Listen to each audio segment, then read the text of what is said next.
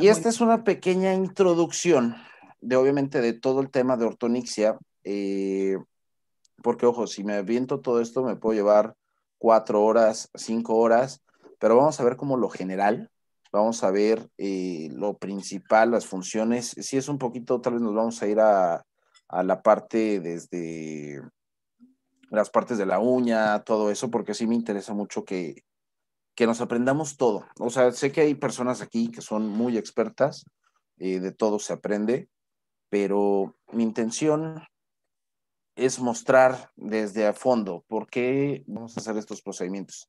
Y aquí están, o sea, las uñas, que es una estructura protectora. Eh, ¿Para qué nos sirve? Perdón, yo así lo digo en mi consultorio hasta los niños. ¿Para qué nos sirven las uñas? ¿Por qué tenemos uñas? Pues sí, son las que nos ayudan con ese tope de sensibilidad, que si no tuviéramos uñas, tendríamos dedos torpes en la mano, o sea, no sabríamos con qué presión agarrar las cosas, o las aplastaríamos o se nos caerían. En los pies, ¿para qué? Obviamente para que al caminar eh, podamos tener esa terminal y eh, podamos sentir, de ahí se va toda la parte de equilibrio del tobillo, los movimientos del pie, y ya en base a eso, eh, si tus uñas no están bien, tu caminar no es el correcto. Entonces, pues miren, algo muy, una presentación pues sí sencillo, rápido, de qué son las uñas. Bueno, pues aquí está la estructura protectora, la cual tiene una, una corteza, eh, que su mayor parte es queratina, calcio y agua. De aquí, ¿qué no vemos en las uñas? Algo muy importante, las, las capas de uñas, superior, central e inferior. Eh, checar que obviamente siempre todas las uñas, eh, su crecimiento es longitudinal, desde la parte próxima hacia distal. Eh, en las manos, pues sí, aquí está, crecen casi un milímetro al día. Y en los pies, bueno, crecen una tercera parte o una cuarta parte más lentamente. Por ahí sí todos están escuchando bien, ¿verdad? sí, sí, sí se escucha bien. Perfecto. Esto sí es súper importante, eh, que conozcamos todo lo que es la anatomía de la uña, eh, porque de aquí en base a esto es donde empieza también lo que es la ortonixia. Hay que fijarnos incluso desde lo que es el hueso, la falange, eh, toda esta parte igual de, la matriz, cómo, cómo, empieza a crecer la uña desde esta parte, lo que tenemos de eponiquio, la cutícula, hiponiquio que está en la parte distal, todo el lecho ungueal, el cuerpo de la uña y pues, el extremo libre. El extremo libre, y ojo, eh, en ciertos procesos de ortonixia, sí, bueno, siempre lo que vamos a hacer es cortar las uñas, pero hay ciertas uñas que tal vez vamos a dejar un poquito más de ese extremo libre para que nos pueda ayudar. Ahorita lo voy a explicar con los omegas. ¿Qué vamos a hacer con, con la ortonixia? Toda esta parte que es la matriz, eh, justo donde está por encima de la lúnula, nosotros le vamos a cambiar la morfología a la, a la uña desde el crecimiento. Ojo, yo por ahí no, no es tanto crítica, pero sí he visto por ahí ciertos lugares que están dando unos talleres de ortonixia, pero la ortonixia no, no se está poniendo de la forma correcta. Eso yo sí, ahorita sí se los voy a explicar este, porque lo que queremos es cambiar desde donde va creciendo la, uña, que es toda esta parte, sobre todo donde está la lúnula, y cambiar eh, la morfología desde la matriz. ¿Sale? ¿Cómo debe ser una uña sana? ¿Cómo es lo correcto? Yo igual a mis pacientes siempre les digo, compárenlo con un poquito con lo de la mano, que es una uña casi plana, es una forma un poquito ovalada, es una superficie lisa, y es con una pequeña coloración rosada. Eh, en los niños, sí, pues son más flexibles, son más delgaditas. Padrísima la ortonixia, sobre todo en niños. se ven los cambios muy, muy rápido. En los adultos, pues sí, la uña se empieza a hacer un poquito más, más gruesa. Y pues el paciente, el adulto mayor, ya la uña, este, pues sí se hace bastante gruesa y no necesariamente por una onicomicosis, pero sí eh, va cambiando un poco la, la morfología.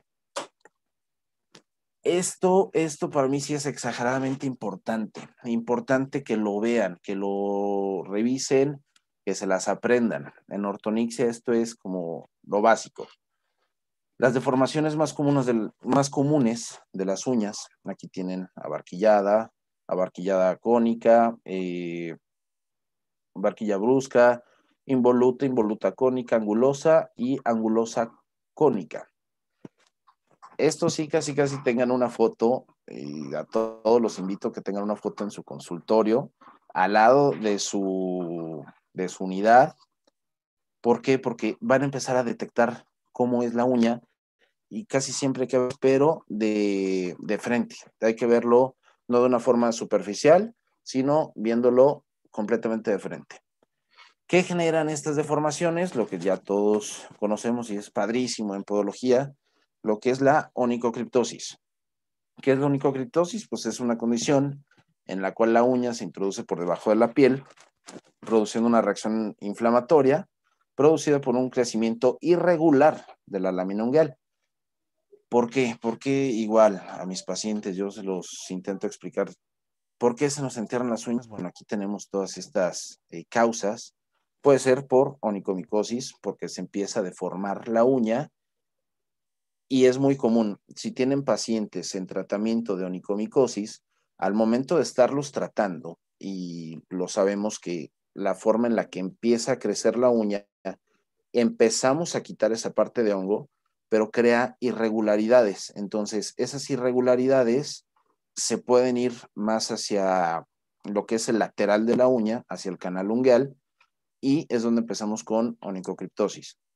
De ahí, bueno, el mal corte, zapato inadecuado, no quiero decir marcas, pero hay unos tenis muy famosos de una estrellita que, híjole, cómo causan problemas. ¿Por qué? Porque el zapato correcto, como debe de ser, el zapato correcto debe ser de puntera ancha, y ahora sí que nuestros dedos estén completamente estirados, eh, que no tengamos ninguna presión, por eso también, por ejemplo, esto es muy, muy común eh, en mujeres. Tenemos más problema de una onicocriptosis en eh, pacientes femeninos. ¿Por qué? Porque usan zapato más cerrado, más en pico, más los tacones. Entonces, pues si ya va cambiando mucho, entonces se genera una presión completa interna en el pie y estamos desde ahí eh, apretando completamente los lados. Entonces, ¿qué es lo que pasa? Que la lámina ungueal, la uña, se va a ir hacia abajo.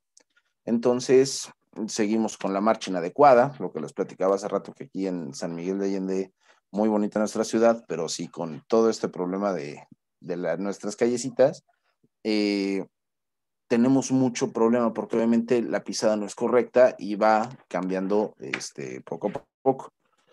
Embarazo, sobrepeso, el dormir boca abajo. Eh, mucha gente le da risa, le da curiosidad. Oye, ¿por qué dormir boca abajo se te entierran las uñas? ¿Por qué? Porque la uña al final ya está pegando, este, digámoslo así, con el colchón. Entonces, imaginemos que todo el mundo estaba durmiendo ocho horas al día son 8 horas por 30 días, 8 por 3 son 24, son 240 horas en que la uña está pegando. Entonces, ya al topar, bueno, va a cambiar su morfología y la presión se empieza a ir hacia los lados. Al igual que, bueno, los calcetines apretados también puede ser un, un factor para este, tener la onicocriptosis, la famosa uña encarnada. Esto, en un sentido muy profesional, eh, yo sí lo tengo que decir. ¿Cómo resolver la onicocriptosis? Eh, primero y siempre vamos a tener que hacer una espiculotomía. La espiculotomía, bueno, ya sabemos que es el, punto de quitar eh, ese piquito de la lámina ungueal. ¿Para qué? Para que nos quede recto. Al estar recto el, el canal, bueno, no vamos a tener ese problemita. Y ojo, cuando tenemos un paciente, y eso, bueno, así me lo enseñaron desde, desde la escuela, ¿cómo resolver la onicocriptosis en base a espiculotomía? Si en cinco, cuatro o cinco sesiones de espiculotomía no se resuelve y viene otra vez el paciente, y viene otra vez el paciente, y viene otra vez el paciente, bueno, yo lo veo en un sentido de que no, no le estamos resolviendo el problema y creo que esa sí es nuestra labor. Por ahí me dijo mi muy buena amiga Raquel, si no, no se preocupe, usted mantenga a mis hijos toda la vida, yo aquí lo veo una vez con mes, pero no sería lo correcto, no es lo ético nosotros. Eh, lo correcto es resolver la patología. Entonces, eh, muchos de nosotros, podólogos, ¿qué es lo que pasa? Que pues hacemos espiculotomía y estamos arreglando y arreglando. Y ¿sabes qué? Pues no, no se compone, no se arregla. Bueno, pues todo mundo se brincaría directo a la matricectomía. Pero aquí es donde entra la ortonixia y es padrísima la ortonixia. ¿A qué es a lo que voy? Que es un procedimiento sin cirugía, sin dolor, para hacer la corrección de la, de la para evitar la onicocriptosis. Eh, yo así se los digo a mis pacientes y sobre todo, por ejemplo, algunos podólogos que van empezando, que tienen al paciente que es diabético y no quieren que salga ni una gotita de sangre, no quieren que tengan tener ningún problema. Esta es una muy buena opción en cuestión niños, niños también las mamás que se llegan a espantar de no, no, no, a mi hijo no le vaya a, meter cuchillo, como decimos, eh, no le hagan cirugía, no, no, no, a ver, voy por otra opinión. Entonces, no, la ortonixia, estamos llegando en este punto medio de resolver. Entonces, regresamos un poquito. Tu paciente con onicocriptosis, vamos a hacer espiculotomía. Si con espiculotomía no tenemos la solución, ok, nos pasamos a la ortonixia. Ya si con ortonixia no tienen los resultados, yo dejo la matricectomía como última opción. Muy importante, ya que tenemos pacientes que están con ortonixia, vamos a seguir haciendo espiculotomía. Eso sí es muy importante porque eh, si se fijan, por ejemplo, esta foto. Esta foto sí ya está casi sana. Este paciente era de un, niño, pero la uña estaba muchísimo más abajo. Entonces, ¿qué es lo que estoy haciendo? Regresando un poquito la lámina pero ojo, tengo que seguir liberando el canal para poder hacer la corrección. Recuerden, estamos cambiando la morfología de la uña desde donde crece, desde la raíz, desde matriz. Entonces, eh, es eso. Nos pasamos a la siguiente, que es la ortonixia. Es una técnica alemana que consiste en la aplicación de tensores para educar y corregir la forma de la uña. De la palabra griega, ortos, que es enderezar, onichos de uña. Entonces, el objetivo es aliviar el dolor que produce sobre el canal ungueal, esa lámina que está abajo en el canal de la uña, cambia el origen morfológico de la uña y va a poder aliviar la onicocriptosis recurrente. Repito, eh, hay que estar haciendo estos cambios. Yo igual, a mucha gente le da eh, curiosidad que les digo, oye, pues te voy a poner brackets en las uñas. Y les, digo, está el ortodoncista, que es el que te hace la aplicación de brackets en, en dientes. Bueno, nosotros con la ortonixia te ponemos para enderezar lo que es tu, tu uña. Muy importante, muy importante, aquí no se le puede aplicar la ortonixia. Pacientes que tengan una onicomicosis, eh, este es igual paciente mío, porque, y aquí se están dando cuenta, este enorme espacio que hay, de nada sirve, de nada sirve poner unos brackets o alguna técnica de ortonixia en la parte superior, porque nunca vamos a cambiar la morfología desde matriz. Eh, un exóstosis eh, que es esa pequeña, ese crecimiento de, parte ósea en la falange distal, eh, no se puede aplicar porque si alcanzan a ver aquí, se ve como la uña ya está completamente hacia arriba. ¿Qué es lo que pasa? Que bueno, esto ya lo tenemos que derivar directo a un eh, médico, un cirujano, para que ellos puedan rebajar esta parte de la falange y después ya en automático la uña se verá hacia abajo. Y otro muy importante, bueno, cuando tenemos granulomas, cuando estamos haciendo el, nuestro el famoso servicio podológico, cuando hacemos espiculotomía, es común que lleguemos a tener una gotita de sangre o dos gotitas de sangre, o hay gente que sí, un problema mayor, pero no podemos aplicar la ortonixia porque obviamente tenemos que aplicar un curetaje y ya con ese curetaje, este, decirle al paciente, oye, pues regresa eh, ya que tengamos esto solucionado y ya después sí se puede aplicar la ortonixia. Dentro de ortonixia hay muchas técnicas, pero sinceramente las más comunes, las que yo utilizo, son estas cuatro. Los omegas, brackets, botones y la lámina de memoria o lámina estratificada, que también así se puede conseguir en los depósitos dentales. Eh, cada técnica es para una uña en específico. Entonces, se ven, aparte que son muy padres, este, sí hay corrección, pero no sé, por ejemplo, hay otro que hay mucha gente, tal vez aquí me van a criticar un poco, pero muchos estaban acostumbrados, y está dentro de la ortonixia, el famoso hilo de algodón que ponían en el canal, que no sé, bañalo con un poquito de urea y lo vas a poner en el canal, ¿para qué? Para que nos haga esa presión desde abajo en la uña, para que la uña no se fuera eh, de lado. Yo no lo utilizo porque no le veo tanta lógica. Si hay gente que le funciona, adelante. Si no, esta es mi teoría. Al yo poner esa, ese hilo de algodón eh, en ese espacio, en ese hueco, nunca, o sea, voy a quitar el hilo y va a seguir el hueco. Lo que a mí me interesa es que obviamente toda la morfología desde la piel vuelva a subir para que la lámina ungueal no se me vaya hacia abajo. Entonces, siento yo que de nada sirve poner un hilo y luego quitarlo y sigue otra vez el hueco. Y le vuelvo a poner un hilo y se lo quito y otra vez tengo el hueco. Entonces, no estoy resolviendo mucho esa parte.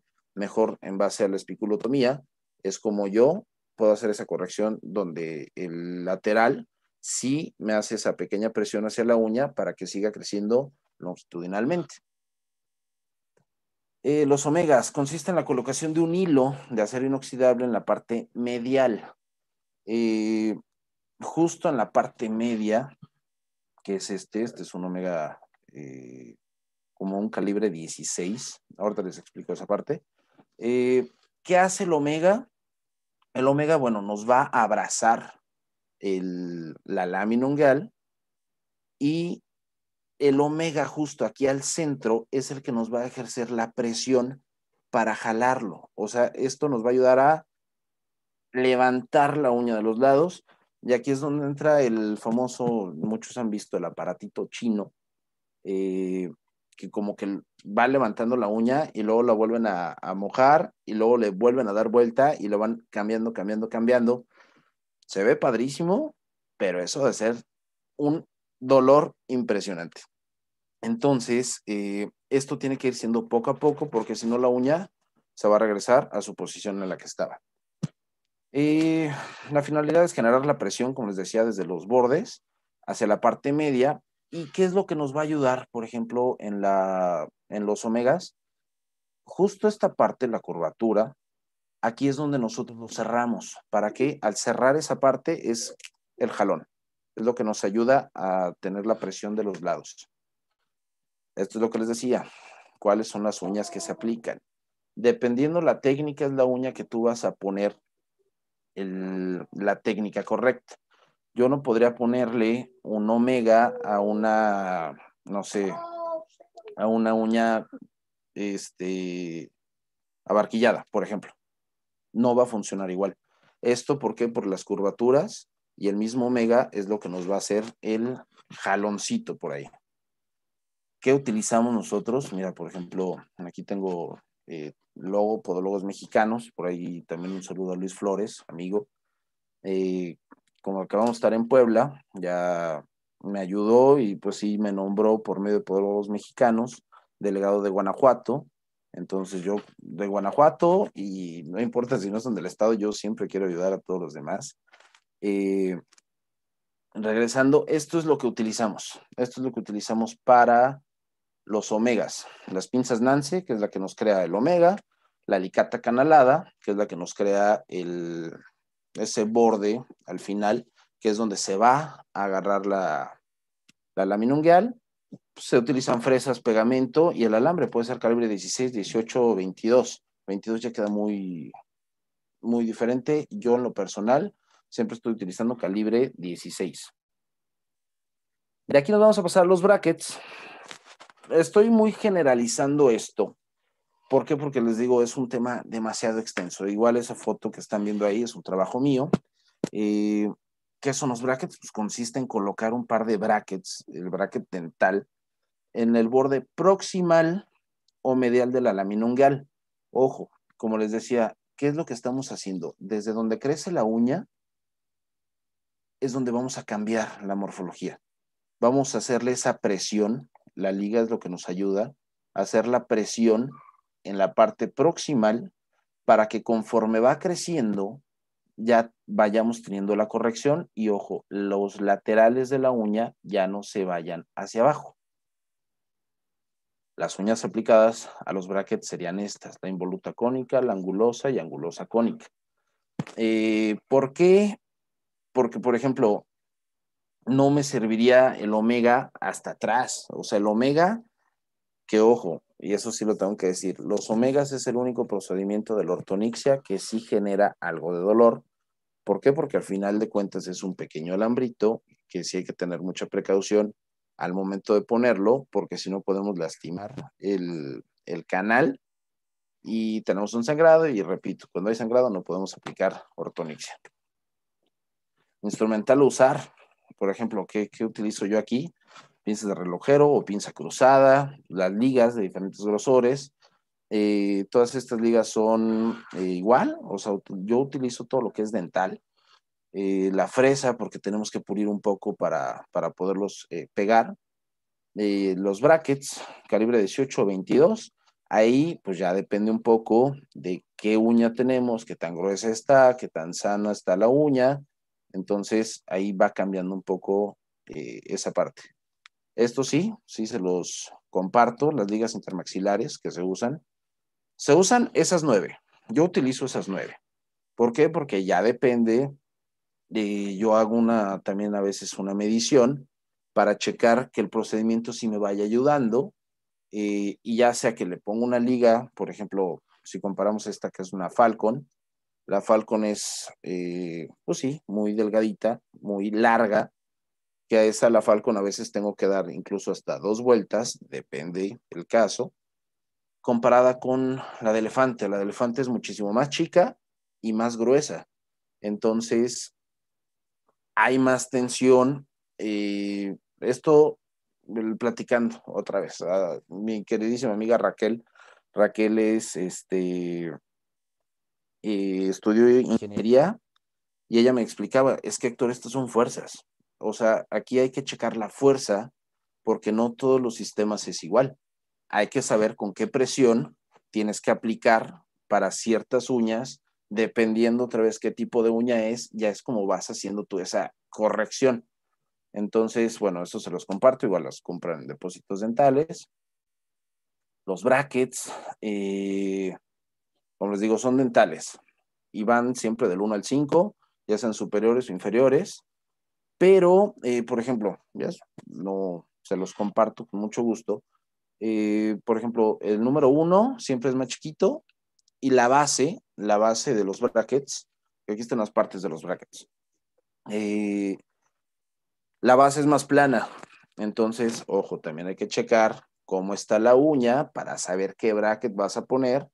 Tenemos esta parte del hook, que estos siempre son del 3, 4 y 5. Eh, las aletas, el punto de orientación, tiene su chiste, pegarlo. Hay que saber ese punto hacia dónde va. Y la base, bueno, la base, como les decía, es la curvatura, menor número, es casi plano, y ya, por ejemplo, la 5 sí tiene mucho ángulo. Entonces, dependiendo la uña, es como van aplicando la, la técnica. Ahí, por ejemplo, yo, es un trabajo mío, igual. Si se fijan, yo lo estoy pegando, pero yo me estoy asegurando que esta parte quede completamente recta. Tener como una línea imaginaria hacia la matriz. ¿Por qué? Porque lo que yo quiero modificar es desde acá. No lo pego, yo por ejemplo, hasta el fondo. Eh, ¿Por qué? Porque también, pues, dependiendo del pegamento que estés utilizando, eh, se te puede ir hacia los laterales y al rato lo que estamos provocando es una pequeña eh, hiperkeratosis lateral. ¿Por qué? Porque al final esto está haciendo presión. Entonces hay que tener mucha precaución igual al momento de poner los, los brackets para no tener este, ningún detalle extra, porque ojo, la ortonixia se ve padrísimo, pero pues también sí hay ciertos detalles que hay que ir este, checando. La liga, ahí por ejemplo estoy colocando una liga, les repito, depende de la uña, depende la liga, depende el número de bracket, es como se va haciendo el, el procedimiento. Pero, por ejemplo, yo en esta, como me quedaba hasta cierto punto, no con la presión que necesito, yo esta al momento de colocar y luego todavía le di otra vuelta porque hay, hay varias formas de, de ponerlo. Por ejemplo, esta que es la liga cruzada o la liga continua. Esta es la que les explicaba, esta es una Falcon, pero yo lo alcancé a hacer un cruce o esta, si se fijan, ya este paciente ya nada más le quedaban como dos sesiones, ya terminé incluso con él. Esta es una de elefante, entonces sí cambia la liga, la Falcon y la de elefante, dependiendo la uña, dependiendo también la edad, la resistencia, eh, la edad del paciente. ¿Por qué? Porque a un niño no le vamos a meter tanta presión porque al final también le va a doler.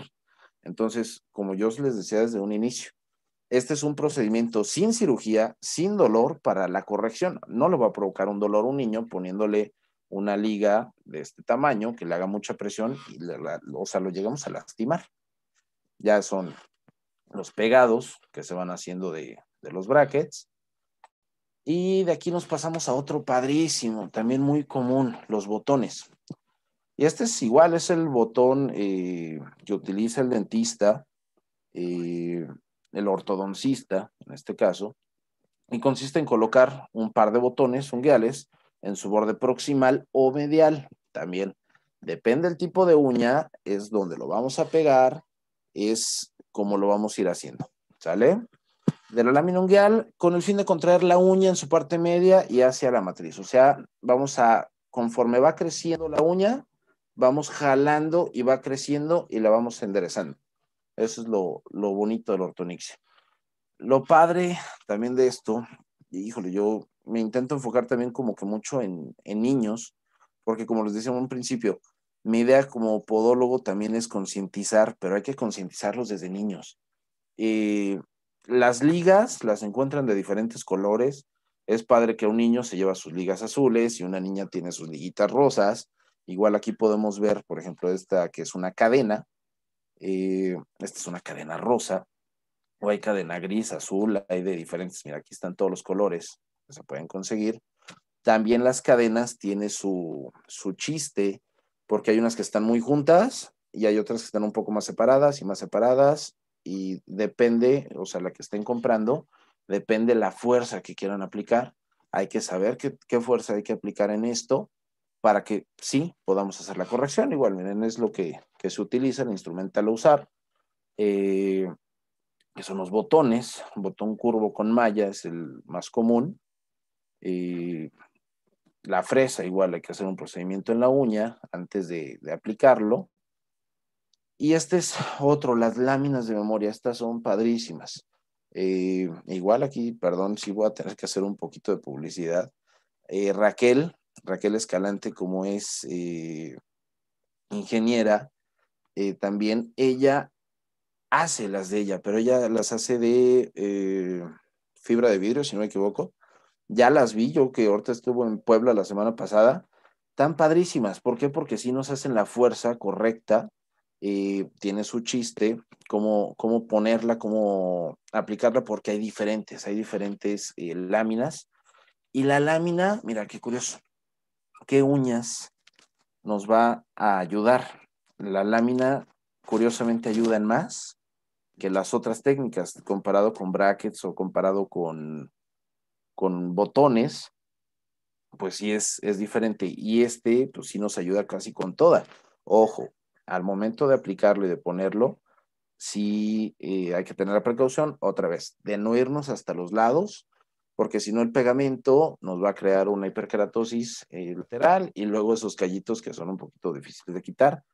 Eh, ¿Para qué nos metemos en más problemas? Esto es muy meticuloso, esto es de mucha paciencia, eh, híjole, pues sí, tener por ahí, apoyarnos con una, lupa, eh, tiene su chiste irlo aplicando, irlo poniendo, pero sí tiene que ser muy, con mucho, mucho, mucho tacto.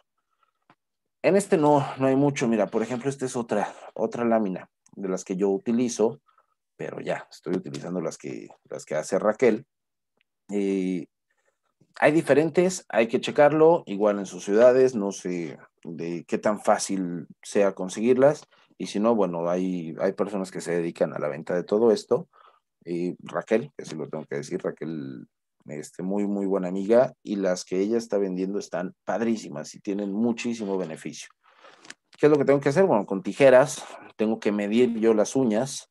Si se fijan, aquí está como yo lo estoy pegando de un lado y la lámina, como es recto, al momento de nosotros bajar, de bajar, hacer presión, literal es como si tuviéramos un pedacito de madera. Lo hago como ejemplo aquí en la cámara. Yo al pegarlo aquí, ya está recto. Entonces al yo bajarlo, hace la fuerza hacia arriba. Esa es la función de la lámina. Si baja, está haciendo presión hacia arriba. Eh, hay que checarlo eh, cómo están pegando igual. Me regreso a los brackets que son con ligas, los botones que son con cadena. Muchos, por ejemplo, pegan todo. O sea, todo, ya que pusieron los brackets o botones, están pegados, ponen la liga o la cadena y luego lo llenan de pegamento encima. Eso, perdón, está mal hecho. ¿Por qué? Porque ya lo dejaron recto, ya lo dejaron completamente pegado. No estás haciendo ninguna fuerza hacia arriba. Lo que quieres es levantar la uña. Entonces, al tú pegarlo completo, tienes una plasta, una plasta de, ortonixia que no te va a servir de absolutamente de nada. Lo que yo necesito es la fuerza, justo en la parte medial, que me levante la uña. Lo tengo que decir de esta forma y siempre lo expreso así, perdón, como mis puños. Imaginando que son los brackets, lo jalo. O sea, estamos jalando la uña completamente. Eh, ahí ya está pegada completamente la lámina. Ahí ya me está haciendo la fuerza. Pero lo que les decía, mucha gente le pega en todo. Así no va a servir. Ya lo, hicieron dura, está eh, completamente sin hacer función. No hay presión hacia arriba, que es lo que a mí me interesa. Ojo, esto es padrísimo. Igual, mira, ahí hay un, piecito de práctica que lo hice para ahorita lo de el taller que dimos en, Puebla. Eh, recomendaciones para los pacientes que usan eh, ortonixia. Bueno, pues al momento de ponerse los calcetines, tener mucho cuidado de que no, no lo vayan a jalar porque sí, se pueden caer. Cuidado al dormir con la sábana, es muy común que me hablan, oye, se me cayeron, ¿cómo se te cayeron? Es que estaba dormido y casualmente se me cayó solo. Bueno, en ciertos puntos yo doy garantía en el trabajo, pero ya después de un cierto tiempo, pues sí es descuido del paciente. No, no pueden usar zapatos ajustados, esto es lo que les mencionaba. Si ven este tenis, la punta es rígida, es dura, está cerrado. De nada me sirve un procedimiento de ortonixia si mi paciente está utilizando zapato muy justo. Lo que sí yo recomiendo es de que zapato más ancho. Y entre más ancho, mejor. Mucha gente piensa que, no, es que me compro medio número más grande. No es el medio número. Recordemos, dependiendo tu tipo de pie, si es un egipcio, romano, eh, griego, es igual el calzado que hay que utilizar, pero yo necesito que entre más ancho, mejor. Medio número más grande no es, no es el ancho, sigue siendo largo, es el diseño del zapato que compren. Repito, no estoy casado con ninguna marca, pero hay una marca en específico que están, tienen de los dos, o están muy cerrados o están muy amplios. Bueno, compren de los amplios, porque si yo no tengo esa amplitud en el calzado, la función del bracket, del procedimiento de ortonixia que están utilizando, nunca va a servir, porque, repito, estos son fuerzas. La fuerza del bracket que estamos haciendo, pero por el otro lado el zapato está apretado, entonces regresamos. El procedimiento no es el correcto y no están haciendo ninguna fuerza. Eh, no salir a nadar porque si se moja este, estas técnicas, igual, bueno, se van a, caer. Entonces, no lo hagan en verano, porque si no van a tener a los pacientes que a cada rato se les están cayendo. Y curioso, miren, uso de antimicótico. ¿Por qué un antimicótico? Porque todo procedimiento de ortonixia, y esto es donde igual se sorprenden muchos. Todo tratamiento de ortonixia genera onicomicosis. Muchos dicen, oye, ¿cómo, ¿cómo es que esto está haciendo una onicomicosis, que es el famoso hongo en uña? ¿Por qué? Bueno, al final de cuentas, traemos algo externo al cuerpo y al ser esta parte, pues atraemos más suciedad. Entonces, sí, igual, los omegas, repito, cuando metemos esos ganchitos, estamos, pues sí, a veces lastimando un poquito al paciente porque es el único que sí llega a lastimar. Eh, entonces, tenemos que tener ese tratamiento extra. Yo, por ejemplo, cuando tengo mi paciente de ortonixia, igual se lleva su, su tratamiento antimicótico y que se lo esté aplicando. No hay ningún problema si ustedes aplican el antimicótico sobre el bracket, es acero inoxidable, no pasa absolutamente nada, pero sí es, es necesario llevar todas estas recomendaciones, el zapato ancho por la fuerza, eh, su tratamiento de antimicótico y ojo, ¿cuánto dura, cuánto dura un procedimiento de ortonixia? Como les decía inicialmente, eh, vamos a hacer la espiculotomía. Yo lo hago aproximadamente unas cinco veces. Si yo estoy viendo que mi paciente no tiene ninguna mejoría con espiculotomía, que es quitar los laterales, me voy a la ortonixia. La ortonixia no te puede durar más de siete meses. ¿A qué es lo que voy? Que los pacientes los tenemos que ver una vez por mes para que ese crecimiento que tenemos de la uña, ya los brackets, botones o el procedimiento que tengan, ya se recorrió. Entonces, como ya se recorrió, ¿qué es lo que estoy haciendo? Pues voy a tener que quitar el anterior y poner unos nuevos. Otra vez me voy hasta la parte proximal y ya en la parte proximal otra vez está haciendo la fuerza y va creciendo. Entonces, otra vez al siguiente mes los vuelvo a pegar y va haciendo así. Si el tratamiento de la ortonixia nos damos cuenta que nuestro paciente no avanzó durante estos seis, siete meses, pues lo correcto es para resolver la patología, bueno, hacer una matricectomía, que ya es donde quitamos todo el lateral de la uña, eh, se hace la cauterización de la matriz y ya quemarlo, por así decirlo, al cauterizarlo, pues ya no tenemos crecimiento de ese lado, bueno, ya solucionamos el problema.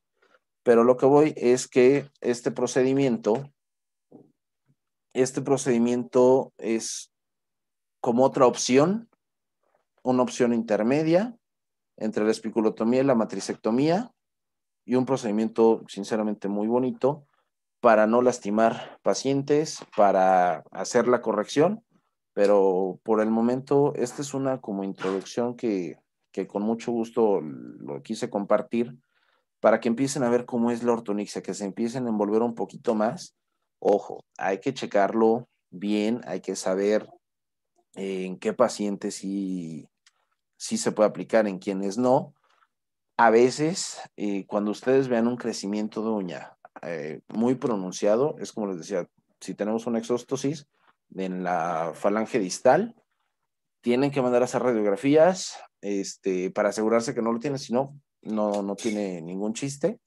Eh, silver, hasta aquí fue lo de la presentación de ortonixia. Hola, hola. ahí te escucho perfecto. Sé que va a haber muchas dudas. Ajá. para eso estoy aquí, para eso estoy aquí con mucho gusto.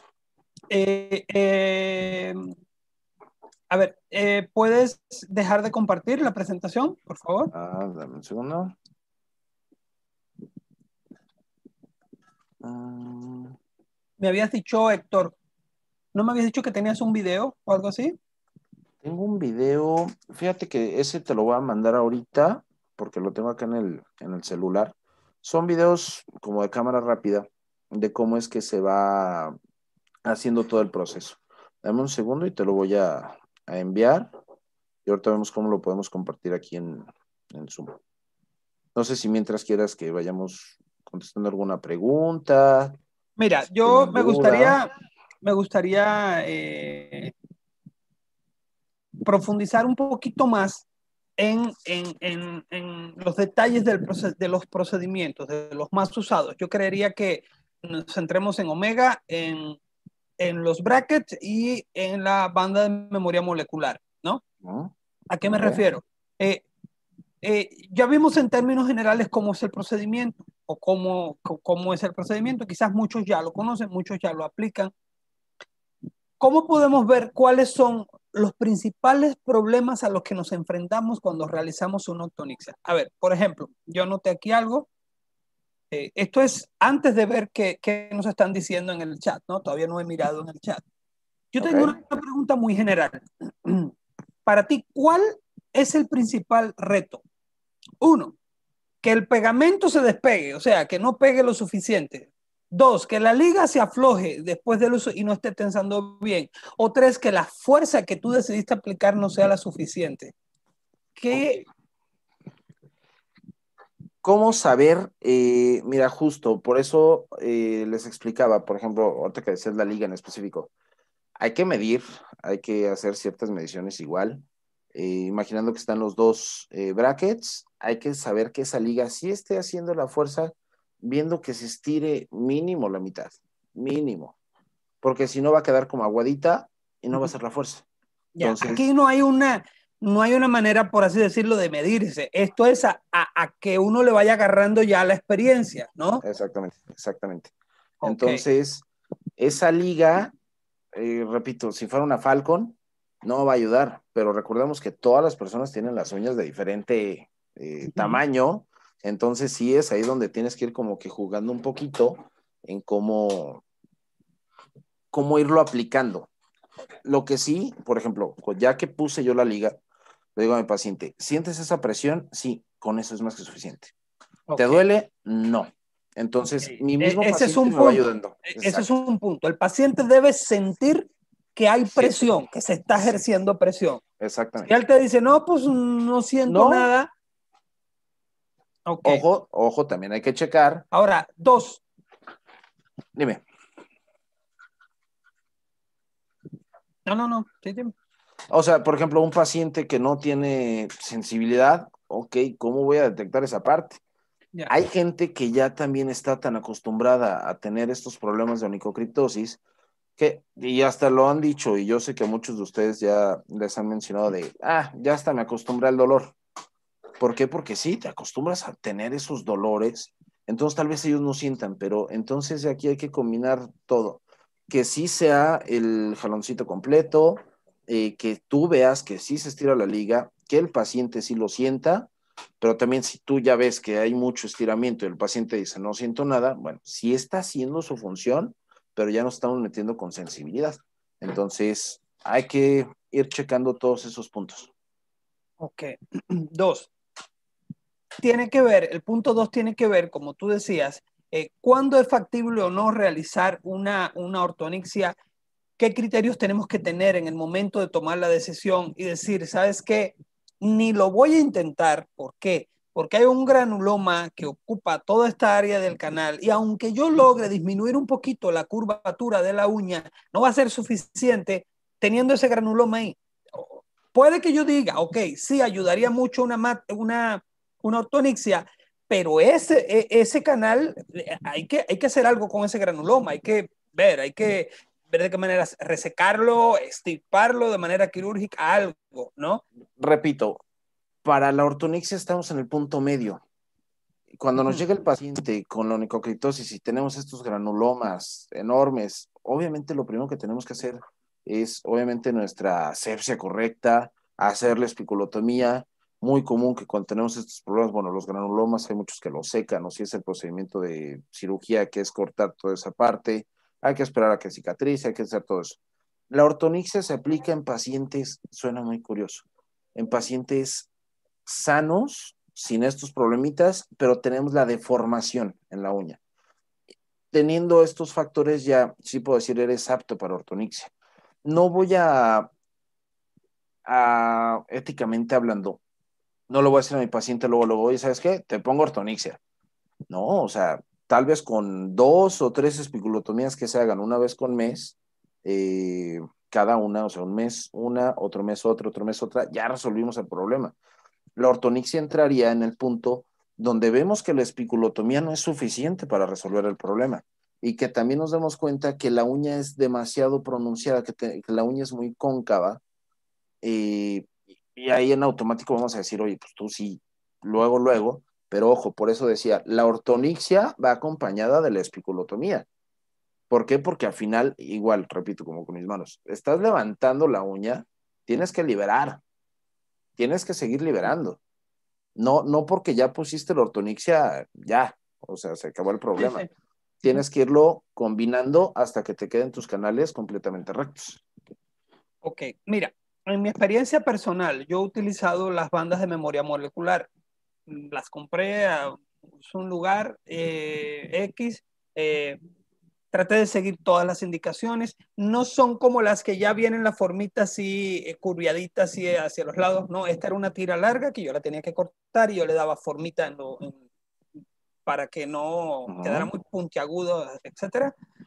me vendieron pues el pegamento igual y yo me generé mucha expectativa, la verdad te digo, por eso me interesaba mucho este tema. Yo me generé mucha expectativa y yo siento, eh, igual, seguía los pasos, bien toda la sección, limaba un poquito, generaba ahí esa porosidad para que agarrara bien, ponía el pegamento, pegaba muy bien este, este lateral, hacía bastante presión y sí, quedaba así paradita, empezaba eh, reteniendo aquí para que no se me despegara, empezaba a presionar el otro extremo por todo el borde de la uña, todo así su formita, eh, ya había puesto el pegamento allá, pegaba, lo dejaba y yo todo emocionado y soltaba, quedaba pegado.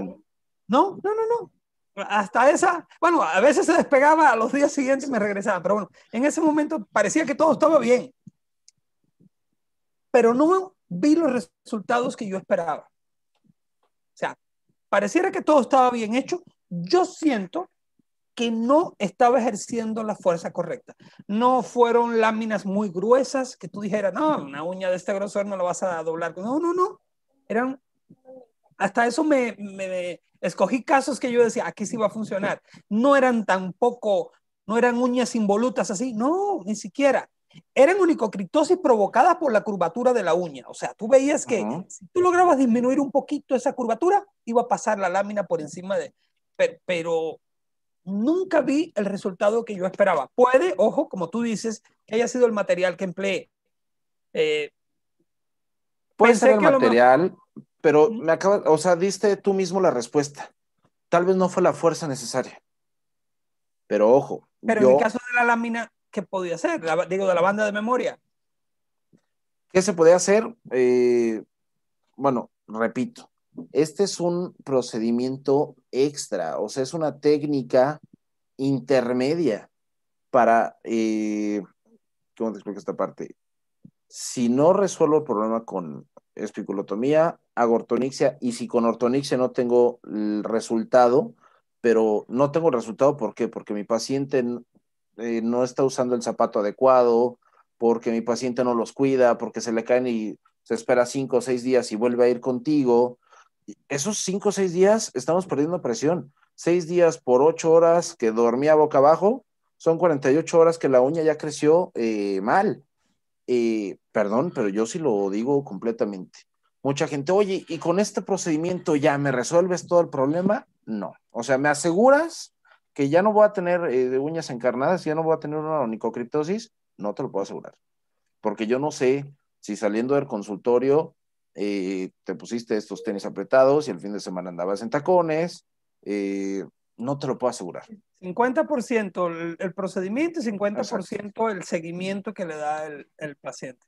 No, está muy bien. Quizás yo creo que una recomendación puede ser escoger bien el material no querer ahorrarse quizás unos 50 pesos, este es el más barato que encontré y resulta que no son las ligas correctas o no es la banda eh, correcta o, algo así, ¿no? Bueno. Aquí, ortonexia, y sí lo tengo que decir abiertamente, es fuerzas. Hay que checar bien las fuerzas, que la fuerza esté bien aplicada para que el procedimiento sea el correcto, acompañado de espiculotomía. ¿Sale? Ok. Ok. Eh, tú, eh, más o menos, ¿qué por ciento tú dirías que de éxito tiene el tratamiento? Sí, te puedo decir como un 85%. Sí. 85-90%. Ese otro porcentaje que es menor, pues sí es el paciente que no se cuida o que de plano sí tenemos un problema mayor. Eh, hay que checar muchas cosas y todos en podología sabemos desde un inicio hay que hacer nuestra historia clínica, ver qué hay, qué calzados. En la historia clínica mucha gente igual le da curiosidad, ¿por qué me preguntas en qué trabajo? ¿Por qué? Porque yo tengo que saber qué tanto tiempo estás de pie, qué tanto tiempo estás sentado, qué tanto uso tiene tu pie, para también en base a ello irlo este, checando. Yo tenía una recepcionista que le daba pena preguntarle, ¿y, en qué trabaja? es que siento como que le estoy preguntando algo íntimo. Oiga, usted llene lo que dice. Exactamente. Oye, eh, bueno, voy al chat, voy a revisar eh, en el chat, voy a ver también si tengo el video. Eh, tú me lo habías enviado ya, es un video de la aplicación de un procedimiento en cámara rápida. creo que me lo, ya me lo mandaste, lo tengo en el chat, ahí lo compartiría yo entonces. Ok, perfecto. Sí, sí, sí lo tengo, tú me lo mandas. Y déjame checar en el chat a ver qué pregunta eh, eh, la gente. ¿Cuál crees que es el método más, eh, más usado de los cuatro, tres, cuatro que dijiste? Mira, no tanto el más usado, repito, depende de la. No, no, no, que, más extendido, que, que más usen la. ah, yo, yo, por ejemplo, uso mucho brackets y botones. Brackets. más, más todavía los brackets. ¿Por qué? Porque como tengo ese juego con las ligas, repito, esas fuerzas son las que me van ayudando. Y en el tipo de uña en el que aplican los tres métodos, ¿por cuál te decantas? ¿Cuál es el que escoges? Bueno, comienzo con este primero. Mm, yo pondría como una lámina porque no es tan... Eh, para que mi paciente sí tenga su precaución, pero no de ya se me cayó y ya se me cayó. La lámina, bueno, va casi pegada a lo que es la, más bien está pegada obviamente a la uña y no tenemos esos pequeños bordecitos que se puedan atorar más fácil con un calcetín. Entonces, yo creo que la lámina es la que podría poner como segundo. Pero repito, como ya te llega el caso muy extremo, pues casi siempre estamos poniendo pura, puro bracket o botón. Y no quería mencionar esta parte, pero sí lo tengo que decir. Los imanes. Los imanes, eh, también que es un proceso de ortonixia, yo no los utilizo mucho. Hay gente que les da muy buen resultado. Yo, te soy sincero, todavía le tengo mi duda. ¿Por qué? Porque pues, son dos imanes, que, es lo que hace es la atracción. Pero son tan chiquitos, hay que saber de qué potencia son y ver exactamente en qué punto ya es donde se están eh, juntando y justo ahí es donde los tendrías que pegar. O sea, es más que milimétrico es mucha, mucha precisión. Ojo, si los llego a utilizar en pacientes, por ejemplo, un paciente, un niño, que es su quinta sesión de ortonixia, que veo que sí hubo mucha mejoría, bueno, sí los pongo para jalar un poquito en ese último mes. Ya como también como terminado, sí me siguen haciendo fuerza, pero repito, no sé qué fuerza me está haciendo el imán, porque no sé qué potencia es, no sé si están exactamente bien puestos, pero lo digo con abiertamente, es, hay muchas personas que les funciona muy bien, yo me voy por Yo, yo he, visto mucho eso, hay gente que habla maravillas y otros que dicen que no le Estaría bien invitar a Luis, el creador de la técnica, a ver, a Luis Imanes, a ver que, que nos platique, a ver. adelante, adelante. Porque es un método alternativo y, y, y, sí, quizás tiene su principio físico, ¿no? Y, a lo mejor sí es correcto, ¿no? y, y desconocimiento nuestro. Eh, bueno, ya antes de pasar al chat, te quería preguntar algo.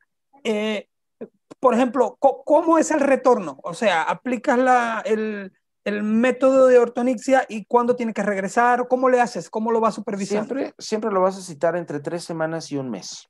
Ya. Es el lapso que, repito, es lo que tenemos de crecimiento de uña. Se hace su servicio podológico preventivo se retira el bracket anterior y se pegan los nuevos en la parte otra vez. Eh, bueno, depende de la técnica que estés utilizando, pero siempre tiene que ser entre tres semanas un mes. Tres semanas un mes. Como seguimiento fotográfico está abierto tomar fotos de frente para ir viendo si la curvatura va cambiando. Exactamente. Hay ciertas formas que también hay medición. Puedes tomar ciertos puntos, ya vas eh, tomando ángulos. Es una fórmula. exactamente, hay ciertas fórmulas también pero es notorio y, se los digo porque llegan los pacientes al siguiente mes y me dicen, ya no me duele, ya no se me enterró. ¿Qué me hizo? Pues está funcionando bien la ortonexia. Entonces, sí. te tengo que hacer otra vez un poco de espiculotomía para de ahí volver a pegar y que se siga haciendo esa corrección. Pero, o sea, resultados desde el primer mes. Bueno, déjame, déjame eh, pasar al chat. Eh, Ok, eh, vamos al chat y bueno, si hay muchas preguntas, déjame ir a las primeras de arriba. Ok. Eh, ya, ok, déjame ver. Ok, no, la primera pregunta. Eh, nos pregunta Ana María Cabrera. ¿Cuánto tiempo después de realizar la espiculotomía aplicas la ortonixia? Si al momento de que tú estás haciendo la espiculotomía no tuviste ningún, repito, ningún sangrado, que no tengas que de hacer uso o aplicación de, algún medicamento y curetaje, en ese mismo momento se los pones. O sea, ya que terminaste, lo haces. Eh, otro tip para los que ya lo hacen, eh, yo siempre hago estos trabajos en seco. Todos, pues sí, realizamos el servicio podológico preventivo y ya sea que le ponemos el exfoliante y el aceite o el hidratante o todo esto, yo primero pongo la ortonixia y después la hidratación y humectación del pie. Ese es un tip también.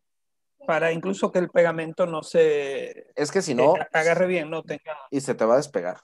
Se te va a despegar. Eh, por experiencia, se los digo, ya me ha pasado, eh, que sí llega a estar ese, ese problemita a veces.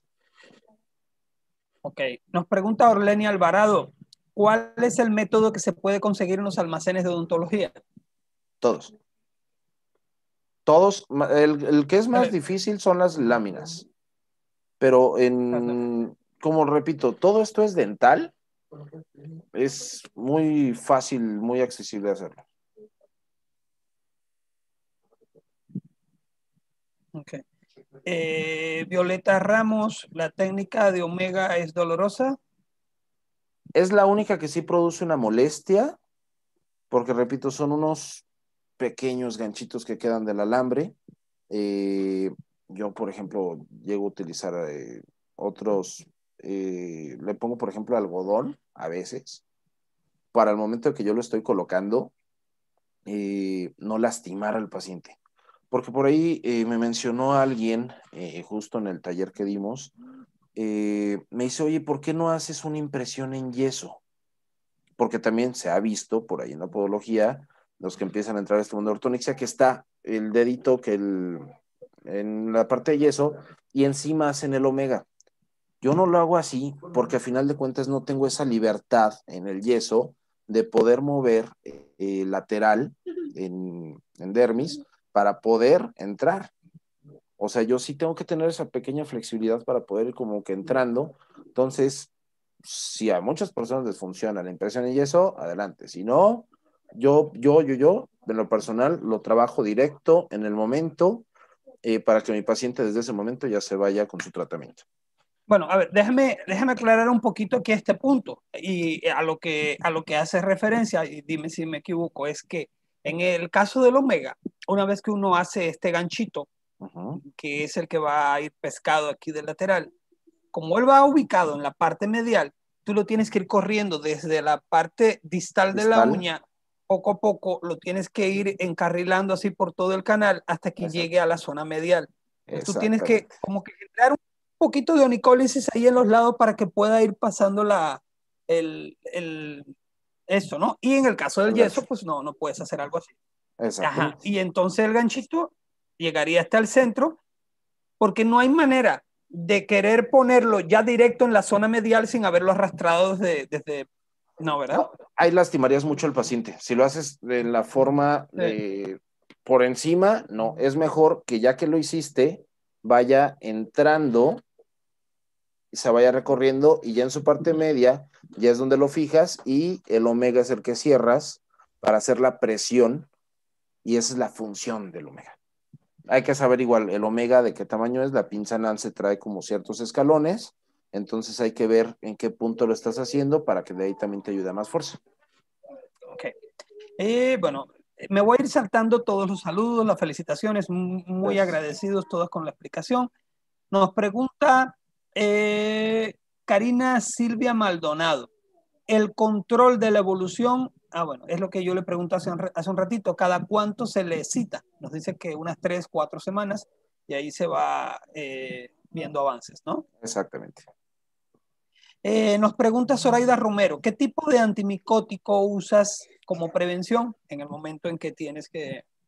Mira, como, como esto, repito, lo tienes que aplicar en un paciente que no tenga onicomicosis, que no tengamos ninguno de estos otros problemas, es más que nada preventivo.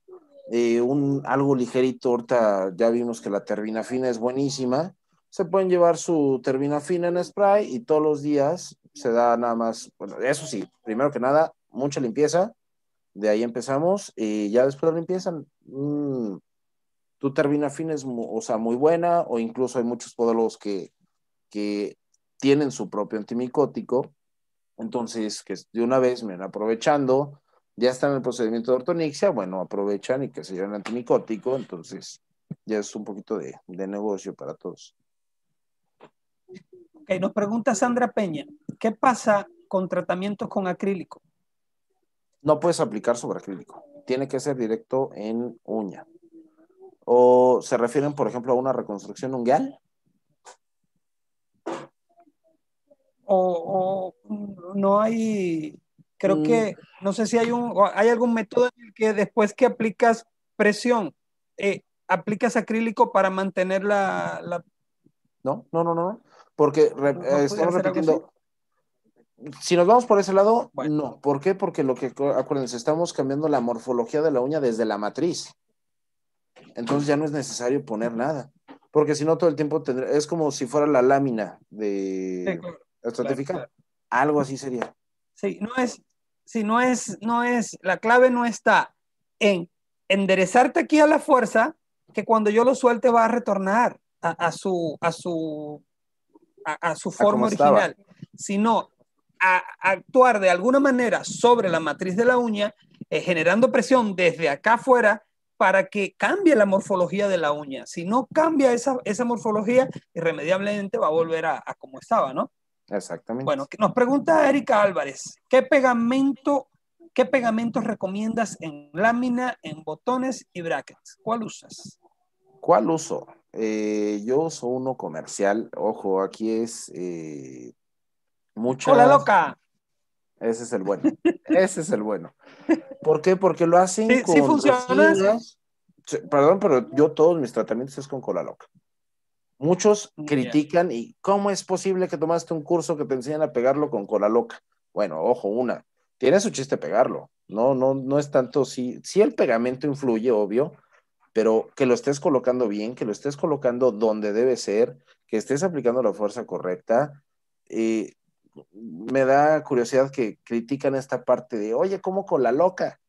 Eh, oye, bueno, si hay algo más, eh, por ahí conocí igual personas oye, y si aplican esta y si aplican esta, bueno, yo les doy la libertad que ustedes lo puedan aplicar, ojo, como ustedes quieran, con resina, puede ser con, igual lo están pegando con lámpara UV, eh, obviamente para, la resina, este, pero no, o sea, yo, yo con la loca, sinceramente.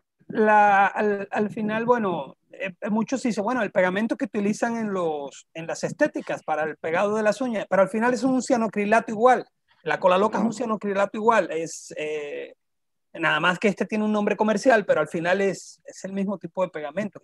Creería yo, no sé, no, no soy químico, no, no, no tengo el detalle, pero si a ti te ha funcionado, eh, pues es, es, válido, ¿no? Como una, como una experiencia, ¿no?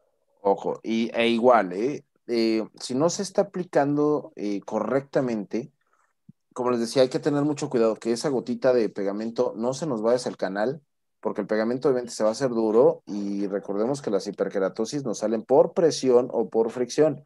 Entonces ahí abre una presión que está lastimando el lateral, entonces vas a tener esto. Es, repito, muy meticuloso, muy bien el pegado, pero sí, ojo, llega a pasar que el paciente llega a los tres días, oye, se me cayeron. Bueno, pues otra vez todo el procedimiento para que le quede otra vez muy bien pegado. Como bien lo decías, tienes que hacer el limado para tener esa pequeña porosidad en la uña y esa porosidad obviamente nos ayuda más a que pegue.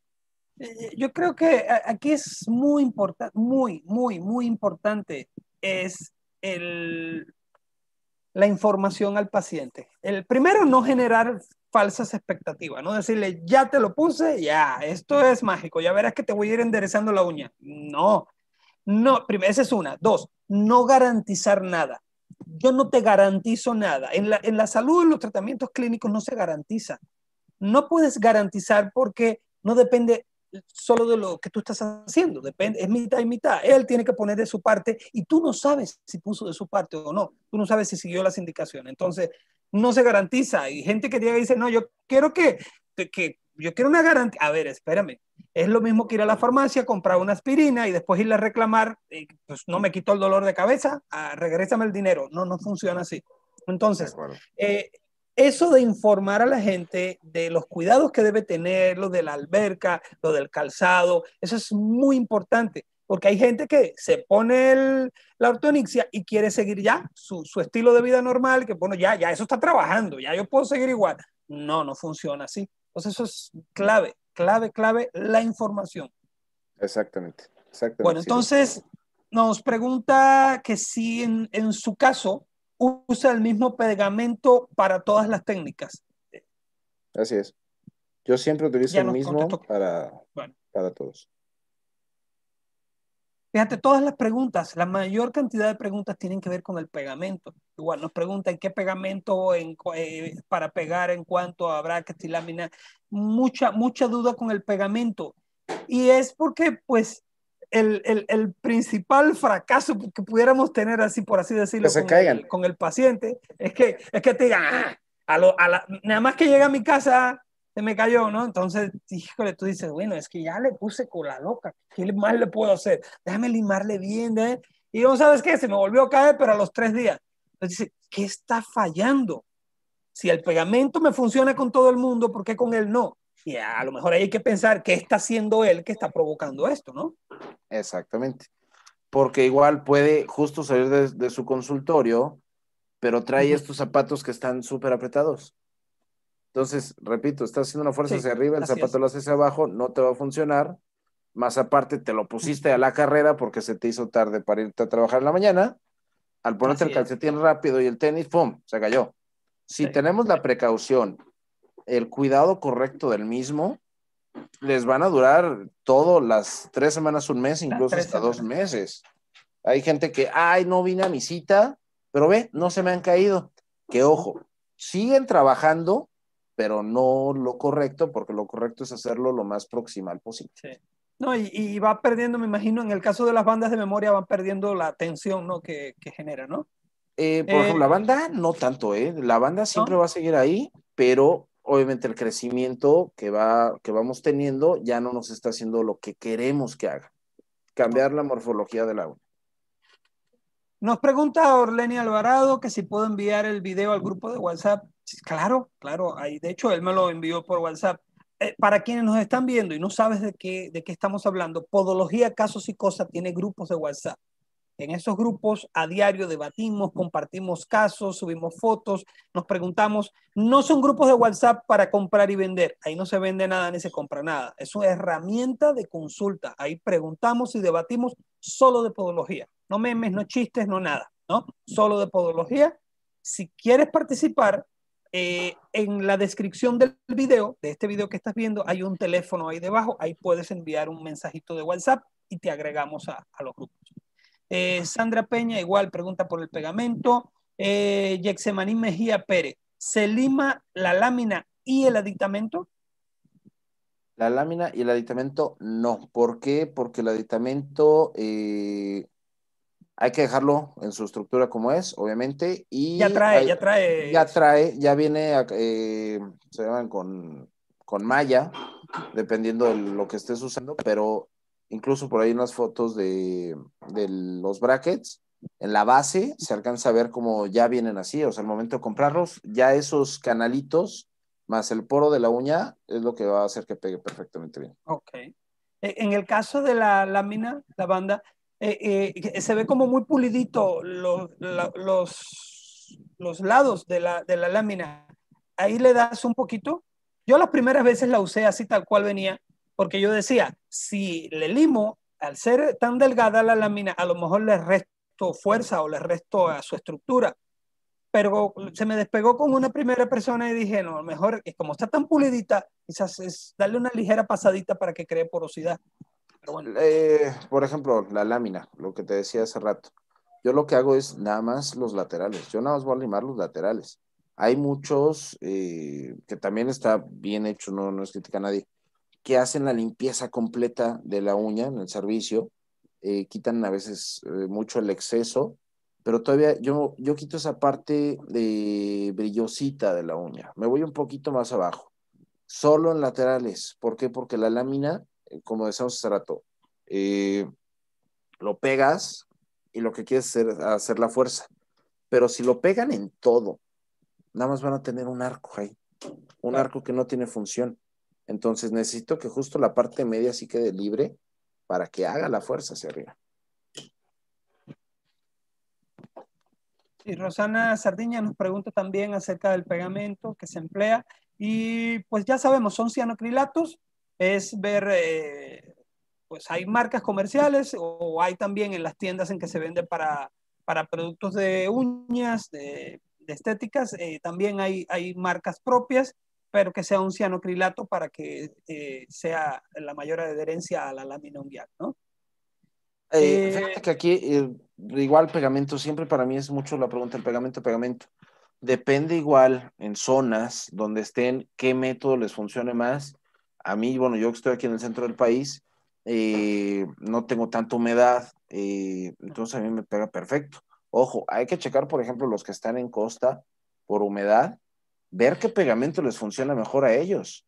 Entonces, miren, no está de más, cuando empezamos en ortonixia, y les voy a platicar rápido una anécdota, eh, yo muy emocionado me los pegué en la mano, yo para enseñarle a todo el mundo, mira, brackets están padrísimos y todo. Fue un error porque llegando, eso lo hice un viernes, y llegando el lunes al consultorio, ponerte los guantes es lo peor del mundo, me los terminé quitando, obviamente, pero eh, hay que checar. O sea, ustedes, a todos se los digo porque sé que hay gente ahorita de, de toda Latinoamérica, hagan pruebas, hagan pruebas, hagan pruebas, vean qué pegamento les queda mejor, vean cuál es lo mejor para ustedes, si puede ser, eh, como les digo, puede ser la cola loca, puede ser eh, resina, lo que les quede mejor y que ustedes vean que ese es el método, ya, perfecto, pasamos del pegamento pero ojo, no quita que los coloquen bien los brackets o los botones, las fuerzas, el tipo de uña, la deformación, todo hay que checarlo, todo, todo, todo. Ok, nos pregunta Erika Álvarez, ¿a partir de qué edad se coloca? ¿Cuál es el paciente más pequeño que te ha tocado? El más pequeño me tocó de seis años. Seis, años. ¿Qué tenía? ¿Cuál, era el, el caso clínico? Eh, tenía en sí una onicocriptosis, era unilateral, porque ojo, también lo puedes hacer aunque solo sea un lado. Eh, el pegado es diferente porque ya no, no va a veces hasta atrás, por ejemplo, en el caso de los botones. Los botones y brackets también los puedes hacer mediales y no necesariamente de extremo a extremo, sino que puede ser de centro a, a extremo. Hay que checar, es, es muy raro también ver estos casos, casi todo va parejo porque es cambiar la morfología, desde matriz. Entonces, eh, en los niños también es muy padre porque es muy rápido. Eh, como explicábamos al principio, la uña en, el paciente, eh, en los niños, es más delgada, entonces la corrección es muchísimo más rápida, comparado con un paciente de 65 años, que ya anatómicamente, pues ya su uña es mucho más gruesa, no necesariamente por una onicomicosis, pero sí cambia sí cambia rápido la técnica. Pero lo puedes aplicar desde, yo lo pondría así como de seis años en adelante. Igual que tengan el cuidado, que no estén jugando, que si también hacen mucho deporte el niño, ya jugó fútbol y al pegarle al balón le fue peor porque se clavó el bracket. Eh, lo que les explicaba, por ejemplo, en los brackets, la parte del hook, que es ese palito en los números 3, 4 y 5, eh, tiene su forma de acomodar para no tener un problema después. Eh, me tocó ver en un taller de ortonixia eh, que ponían un omega inclinado, porque decía que para generar un poco más de fuerza de un lado, algo así. Eh, ¿Te ha tocado ver algo así? Mm, no, fíjate que no, no lo he visto. Se me haría interesante ver el por qué pero como les expliqué hace rato, dependiendo la deformación de la uña, y si te fijaste, esas son en eh, una involuta cónica, ahí tiene que ser parejo, o sea, es Parejo, repito, haces primero tu espiculotomía y ya después ya te agarras con el omega. Hablando de eso, nos pregunta Ana María Cabrera, ¿la ortonixia no debilita la uña en el punto en que se aplica? Bueno, a ver, eh, me imagino que se refiere a, omega. a la zona de, bueno, no sé si sea al omega donde está agarrado o al punto en el que pones el botón o donde aplicas ahí el pegamento. Ok, en el caso, sí, en omegas, no, porque ya que lo tenemos, obviamente lo pegamos a esa parte, después de haber aplicado la fuerza. Por ejemplo, en el caso del omega, el pegado pues es diferente. Hace rato yo les decía que en, botones y brackets no podemos pegar en la parte media, pero en el omega sí necesito pegar justo en medio, eh, justo la brazadera. Ya después de que la cerré, que está haciendo la presión, ahí sí lo tengo que ajustar, o sea, es diferente el pegado. Eh, sí se llega a lastimar la uña, sí, un poco, pero conforme va a ir creciendo, como va pasando el tratamiento, vamos botando toda esa parte. Más que le estamos dando su antimicótico al paciente para que también crezca más sana la uña. Entonces, estamos haciendo como que varias cosas al mismo tiempo y ya que crece, esos pequeños cambios los va a terminar botando. Bueno, por aquí tengo a Raquel Escalante, muy, muy, mencionada hoy, muy mencionada hoy, Raquel. Nuestra amiga Raquel dice que a ella las bandas de memoria le sirven perfecto, solo hay que tener mucha paciencia en pegarla. A ver, ¿cuándo nos muestras tus, tus bandas eh, hechas en México, Raquel, para, para probarlas aquí a todos los colegas del grupo de Podología, Casos y Cosas que la puedan probar? Sí, claro. Eh, a ver, eh, sí, dura más, excelente, con, la loca. Eh, ah, mira, buena pregunta, no se había tocado hasta ahora. Pati Vadillo, hola, disculpa, ¿qué costo podríamos cobrar por sesión? ¿O cómo lo cobra usted? Eso no lo dijo allá, eso lo agrego yo. Ok. Eh, mira, Sí es, eh, por ejemplo, los botones, cada botón ahorita aproximadamente anda como en 40 pesos. Eh, bueno, yo por ejemplo aquí ya... cada, botón, cada botón, cada botón. Eh, la cadena completa anda, no sé, 200 pesos. No vamos a usar una cadena completa en un tratamiento de un paciente, o sea, va a durar para varios, pero lo correcto más o menos... Es, la cadena, como para saber. Híjole, como 5 metros. Ah, sale un chorro de gente. Tres metros, entre tres y cinco metros. Ok. Eh, ¿Cómo cobrar? Yo la aplicación de la ortonixia lo cobro a lo mismo que cobro un servicio podológico.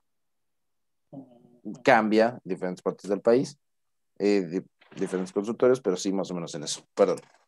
Pero me queda claro que el costo, costo, costo para nosotros de un servicio podológico es menor que ah, ortonixia. sí, sí, sí. Aquí, mira, algo eh, yo también, los tiempos han cambiado. Cuestión económica, igual con todo esto de la pandemia, mucha gente se quedó con poco recurso. Eh, entonces, para que sí puedan seguir el tratamiento, yo les doy dos opciones. Tenemos la opción de que me pagues todo lo que son los seis meses, eh, que yo ya estoy incluyendo ahí el servicio podológico preventivo, estoy incluyendo todo lo de la ortonixia, eh, más o menos el tratamiento conmigo está saliendo en 6.500 pesos. Yo cobro todo el tratamiento de ortonixia en 6.500. Estamos hablando que cada que van conmigo es como aproximadamente entre 900, 800 pesos, eh, que ya me cubre la parte del costo del material. Van con su SPP, su servicio podológico, y este, con su antimicótico. Y ya, más o menos es lo que se está cobrando ahorita. Mm, Todo el procedimiento, unos 6.500 pesos. Bueno, pues ahí saquen sus cuentas. Eh, yo, por ejemplo, una consulta normal, mm, eh, acá yo cobro 400. Y cuando he hecho las, he puesto las bandas, he cobrado 500 pero porque se me ocurrió, o sea, no tenía referencia ni costo de referencia, sí sabía, me cuesta más que el costo que tengo un servicio podológico, que es la navaja, es pues eh, los insumos, los consumibles que usas, pero, pero por ejemplo la banda sí me costó más caro. yo le dije, bueno, le pongo 100 pesos más, pero lo hice sin tener una referencia, sin basarme en un estudio de ningún tipo. Eh, pues, qué bueno que ya tenemos ahí un número y que cada cual bueno, pueda sacar sus cuentas, porque quizás en algunas zonas se, se escuche muy descabellado el precio, pero hay que ver cuánto también te cuestan los insumos, ¿no? Y ojo, también hay que checar qué deformación de uña están tratando, porque si van a estar tratando, por ejemplo, con omegas, el pedacito de alambre que van a utilizar es, eh, no quiero decir insignificante, pero sí es mucho menor a un tratamiento de ya sea brackets o botones. Entonces, ahí va a ser cuestión de que todos jueguen un poquito, si es ortonixia completo o si lo quieren hacer por procedimiento, pero ojo, depende el tipo de uña, dependen muchas cosas. Aquí nos dice Rosy Rodríguez Silver, felicita al profesor por su ponencia, coherencia, gracias. Muy bien, pues ya está la felicitación. Ah, gracias. Eh, nos dice Carolina Pérez el, que prueben con la marca Pegamil, que le funciona mucho mejor. Eh, Marita Miranda, yo lo utilizo en gel, te da lugar a, a, poder mover si no lo pones muy bien. O sea, el pegamento, un pegamento en gel. ¿no? Ok. Eh, a ver qué más. Nos aclara aquí Raquel algunos temas acerca del pegamento. Eh, nos dice Carolina que cianocrilato es el nombre químico del pegamento, es correcto. Eh, que es mejor decirle así al paciente, sí, claro. Eh, para no decirle, no, te puse cola loca. sí, es el pegamento especial para ortonix.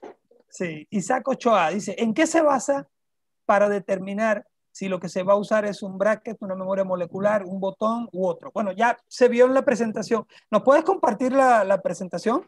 Sí, y justo voy a, poner esa parte, eh, si me permites, nada más para que vean exactamente la de la deformación de las uñas. Dependiendo de la deformación de la uña, hay métodos que son más afines a, a ese tipo de deformación o a esa forma de la uña, ¿no? Dame un segundo para ponerla. Aquí nos dice Master DG, mientras tanto, digo, ah, dice que ella aplicaba bandas de memoria, pero casi siempre se le quebraba a la hora de pegar la, otra, el otro extremo. Eh, cuando la uña está un poco, eh, imagino que quiso decir involuta, pero dice insólita, debe ser involuta. siento como que no, no cedía ¿no? E, esa banda, me imagino que, que pues, es como el acero, ¿no? Que, que que se... A ver, ¿cuál es el nombre de la palabra física de eso? bueno, no recuerdo, pero que cede, pero que después retorna, ¿no? A su posición original. Ahí se vio ya, eh, ¿sí están viendo lo de las deformaciones más comunes en las uñas? Sí, sí, sí aquí estamos viendo. Es exactamente esto, dependiendo del tipo de, de deformación que tenemos en la uña, es el procedimiento que vamos a seguir. Porque muchos agarran y a todas les voy a poner botones o a todas les voy a poner este, omegas, ¿no? O sea, hay unas que tienen su función un poco diferente, eh, dependiendo igual. Por ejemplo, el momento de pegar los brackets, eh, saber qué tan curva eh, tiene la uña para saber qué bracket poner. O sea, no solo es poner el bracket por ponerlo, hay que saber qué número es el que vamos a estar este, utilizando. Ok. Eh, Natalie eh, Tito nos dice, ¿desde qué edad hasta qué edad usted puede aplicar la ortonixia?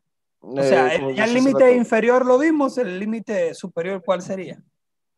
Mm, mira, yo lo dejaría máximo unos pacientes de 60, 65 años, no más. ¿Por qué? Porque ya la uña empieza a ser todavía más gruesa. Depende del paciente, Depende que nuestro paciente tenga una correcta hidratación, porque recordemos que mucha hidratación también nos ayuda con el crecimiento y la parte sana de uñas. Eh, si todavía tienen 75, 80 años y están este, casi casi como de 40, adelante, se puede utilizar. Solo no utilizarlo cuando ya tenemos una uña que está muy gruesa. Ok. O sea, sí es muy importante el grosor de la uña eh, ver si es un paciente que tuvo una onicomicosis muy prolongada, su uña está muy gruesa. ¿Se puede rebajar un poco esa uña, limarla un poco antes de aplicar el tratamiento? ¿Lo podrías hacer? Sí, eh, pero ahí cambiará otro factor. Ahora, ¿qué, ¿qué fuerza necesitan para poder mover esa uña tan gruesa. Ya, no sé si nos vamos en los brackets, eh, una liga, por ejemplo, un elefante, pero ojo, también tanta fuerza nos puede botar los brackets, entonces no va a estar funcionando. Pues nos pregunta Charlie Moore, ¿y los imanes funcionan? Bueno, pues si alguno de ustedes los está usando, platíquenos. Eh, ¿qué, mejor eh, respuesta que la experiencia de uso ¿no? que pueda tener uno de ustedes? Em, eh, nos pregunta Sandra Hernández, hola, buenas noches. A mí me gustaría saber por cuánto tiempo es recomendable usar la octonixia y si la quitas y la colocas nuevamente en cada visita. Muchas cosas se aclararon a lo largo de la plática y las preguntas ya estaban hechas, pero bueno, igual las estoy leyendo todas. Eh, igual, eh, los tratamientos de ortonixia tienen que ser eh, seis meses.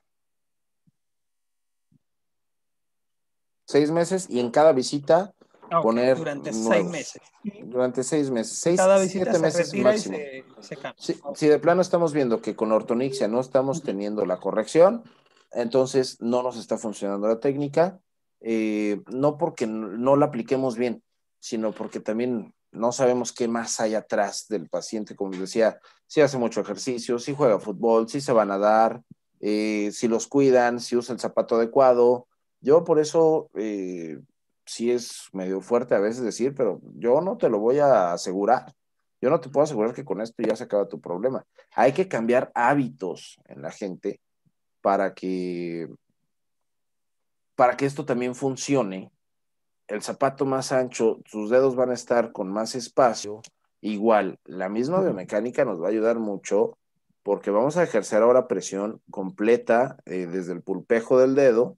Entonces, eh, también ayuda un poquito a, que la uña vaya cambiando y la fuerza de la ortonixia nos ayuda. Hay que cambiar hábitos, hay que explicarle a nuestro paciente que no solo es te los pego y se acabó. Hay que explicarles pero también cambiar hábitos en, la gente. Así es, así es. Esa es la clave, la información. Sabes que estaba mirando hasta abajo y hay muchísimas preguntas más. Vamos a irle quizás un poquito más rápido. Nos dice Soledad Mendoza, sería estupendo ver a Luis Imanes. Sí, claro, vamos a invitarlo a ver si, si nos quiere compartir su técnica. Eh, mm, eh, Orlani Alvarado, todos los meses que vayan a control hay que cambiar, sí, nos acaba de decir que sí.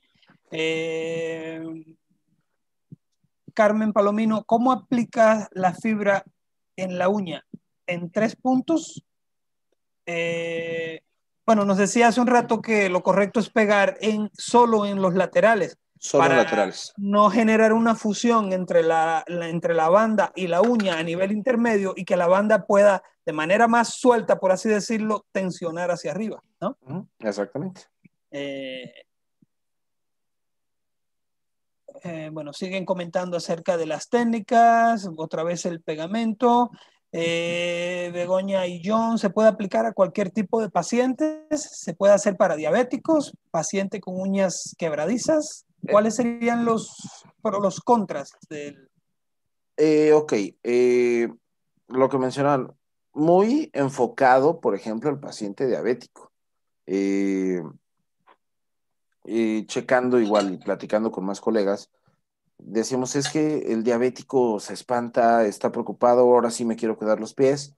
está enfocado esto para ellos, para no tener que hacer la matricectomía, que pues, al final de cuentas sí es una microcirugía, se está realizando, pero enfocado a ellos, enfocado a niños, como les decía, a partir de unos 6, 7 años yo ya podría estar aplicando la ortonixia, y en ellos es súper rápido, súper rápido, y la mamá se va a quedar tranquila, eh, porque luego nos pone más nervioso que estén ahí, oye, pero le va a doler, y no, o sea, repito, yo, como se lo menciono a todos, es un procedimiento sin cirugía, sin dolor, para hacer la corrección de la uña. Nos hacen más preguntas del pegamento, ¿qué antimicótico recomienda usted? Ya se respondió. Eh, dice, si la lámina unguial empieza con micosis distal, me imagino que sí es posible hacer la octonixia. Bueno, si solo está aquí, bueno, perdón que tome yo la respuesta, pero soy el No, no, adelante, adelante, adelante. Soy el asistente de... eh, eh, si la micosis es solamente aquí en la zona proximal, se puede comenzar a tratar y como vamos a ubicar, bueno, dependiendo de la técnica, yo creería que sí se pudiera comenzar a utilizar, ¿no? exactamente. Sí, ya si tenemos un problema de una onicomicosis que está en proximal, ya tenemos en matriz, ahí de plano, primero hay que hacer el tratamiento y ya después vemos cómo va avanzando la uña y si fuera necesario utilizar ortonixia. Eh, hay que checar todos, todos estos puntos. María del Carmen Andrade Mesía, buenas noches. ¿Cómo puedes medir la fuerza que se debe aplicar? Al final no hay una, no hay una ecuación, no hay una manera de hacerlo, sino es la, la tensión y la experiencia que te da y al preguntarle al paciente si siente, si siente que se está ejerciendo tensión, si siente que las ligas se están tensionando esa es la clave. Si, si, no siente nada, es que no hay la, la presión suficiente, ¿no? Y también eh, que no sea mucha eh, la presión que se está ejerciendo, porque corremos el riesgo que se despegue la técnica que se esté utilizando, y porque ahí sí ya estamos lastimando al paciente. Entonces, no hay que lastimar a nuestro paciente y hay que irlo viendo eh, una tensión media y poco a poquito que se sienta, igual, como te decía hace rato eh, ¿sientes, ¿Sientes esa pequeña presión? Sí, con eso es más que suficiente para que ya estemos haciendo la corrección de la lámina ungueal. Ok, Elizabeth Bejar, ¿qué técnica es la más indicada para una uña con micosis e involuta?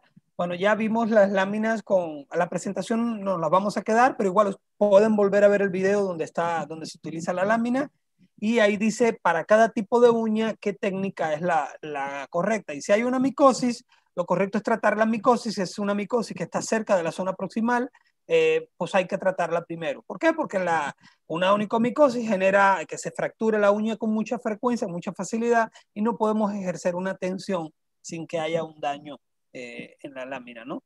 Exactamente. Eh, Belinda Gómez, la fibra de memoria, quisiera saber, ¿solo se aplica el pegamento en los laterales o en toda la fibra? También lo estuvimos viendo, se pone solo en los laterales, ¿sí? Eh, es un error pegar toda la lámina, vas a generar una, una, una sólida, una capa sólida que ya tomó la forma de la uña y eso no se va a despegar, ¿no? Exactamente. Eh, María del Carmen, Carmen Palomino, para una uña delgada, muy delgada, ¿qué método es el más conveniente? Para una uña muy delgada, en este caso estamos hablando de niños, no, no, repito, no cuál sea el mejor, el más conveniente hay que checar qué tipo de deformación de uña tenemos. Y en base a eso ya es donde se va aplicando. Eh, tal vez me estoy adelantando un poquito, eh, Silver, en algo, pero ahorita viene justo un taller de esto. Eh, otra vez, mencionar a mi super amiga Raquel Escalante. ¿Qué te parece si al final los invitamos a los talleres? Órale. Y ya después que veamos y aclaremos todo, a ver, ¿dónde? Aquí vimos pura teoría. Yo quiero verte haciéndolo más allá de un videito que podemos tener. Yo quiero practicar, yo quiero hacerlo yo, yo quiero equivocarme, yo quiero que me corrijan. Ahí vamos a tener un taller. Les va, vamos a decir al final. Eh, eh, Terminafin Spray es muy buena. Seguimos. Eh, ¿Cuánto cobras? Ya lo dijimos. Eh, pegar con acrílico los brackets, eh, pues sí, ya, ya lo mencionamos. Eh, hay edades para poner la fibra, pues ya vimos las edades también.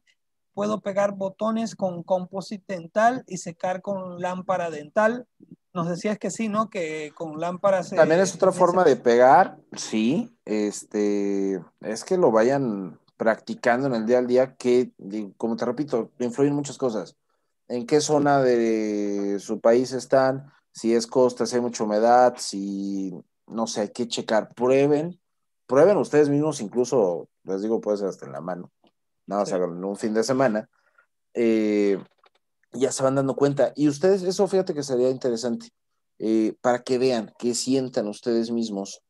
Oye, esta liguita sí me hace más presión. Oye, pero también eh, es probarlo, no hay como probarlo. No quiero decir prueba-error, yo ya tengo la técnica muy definida y para mí el mejor es el famoso cola loca. Ya me acostumbré a trabajar con él, pero como todos, cada quien va a tomar su, manera y adelante.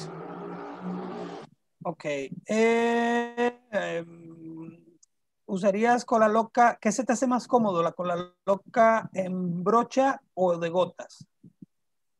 Uso de las dos. Uso de las dos. No que en específico en algo por alguna técnica.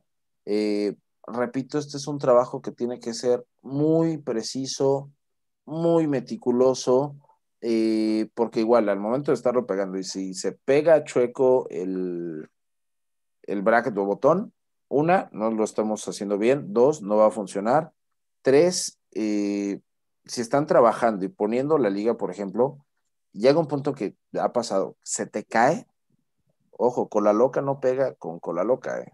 no van a poder hacer eso. Vas a tener que volver a empezar todo el procedimiento, quitar todo lo que acabas de poner y volverlo a pegar. Repito, para que no tengamos estos errores, hay que ser muy precisos, muy meticulosos al momento de aplicarlo. Ok.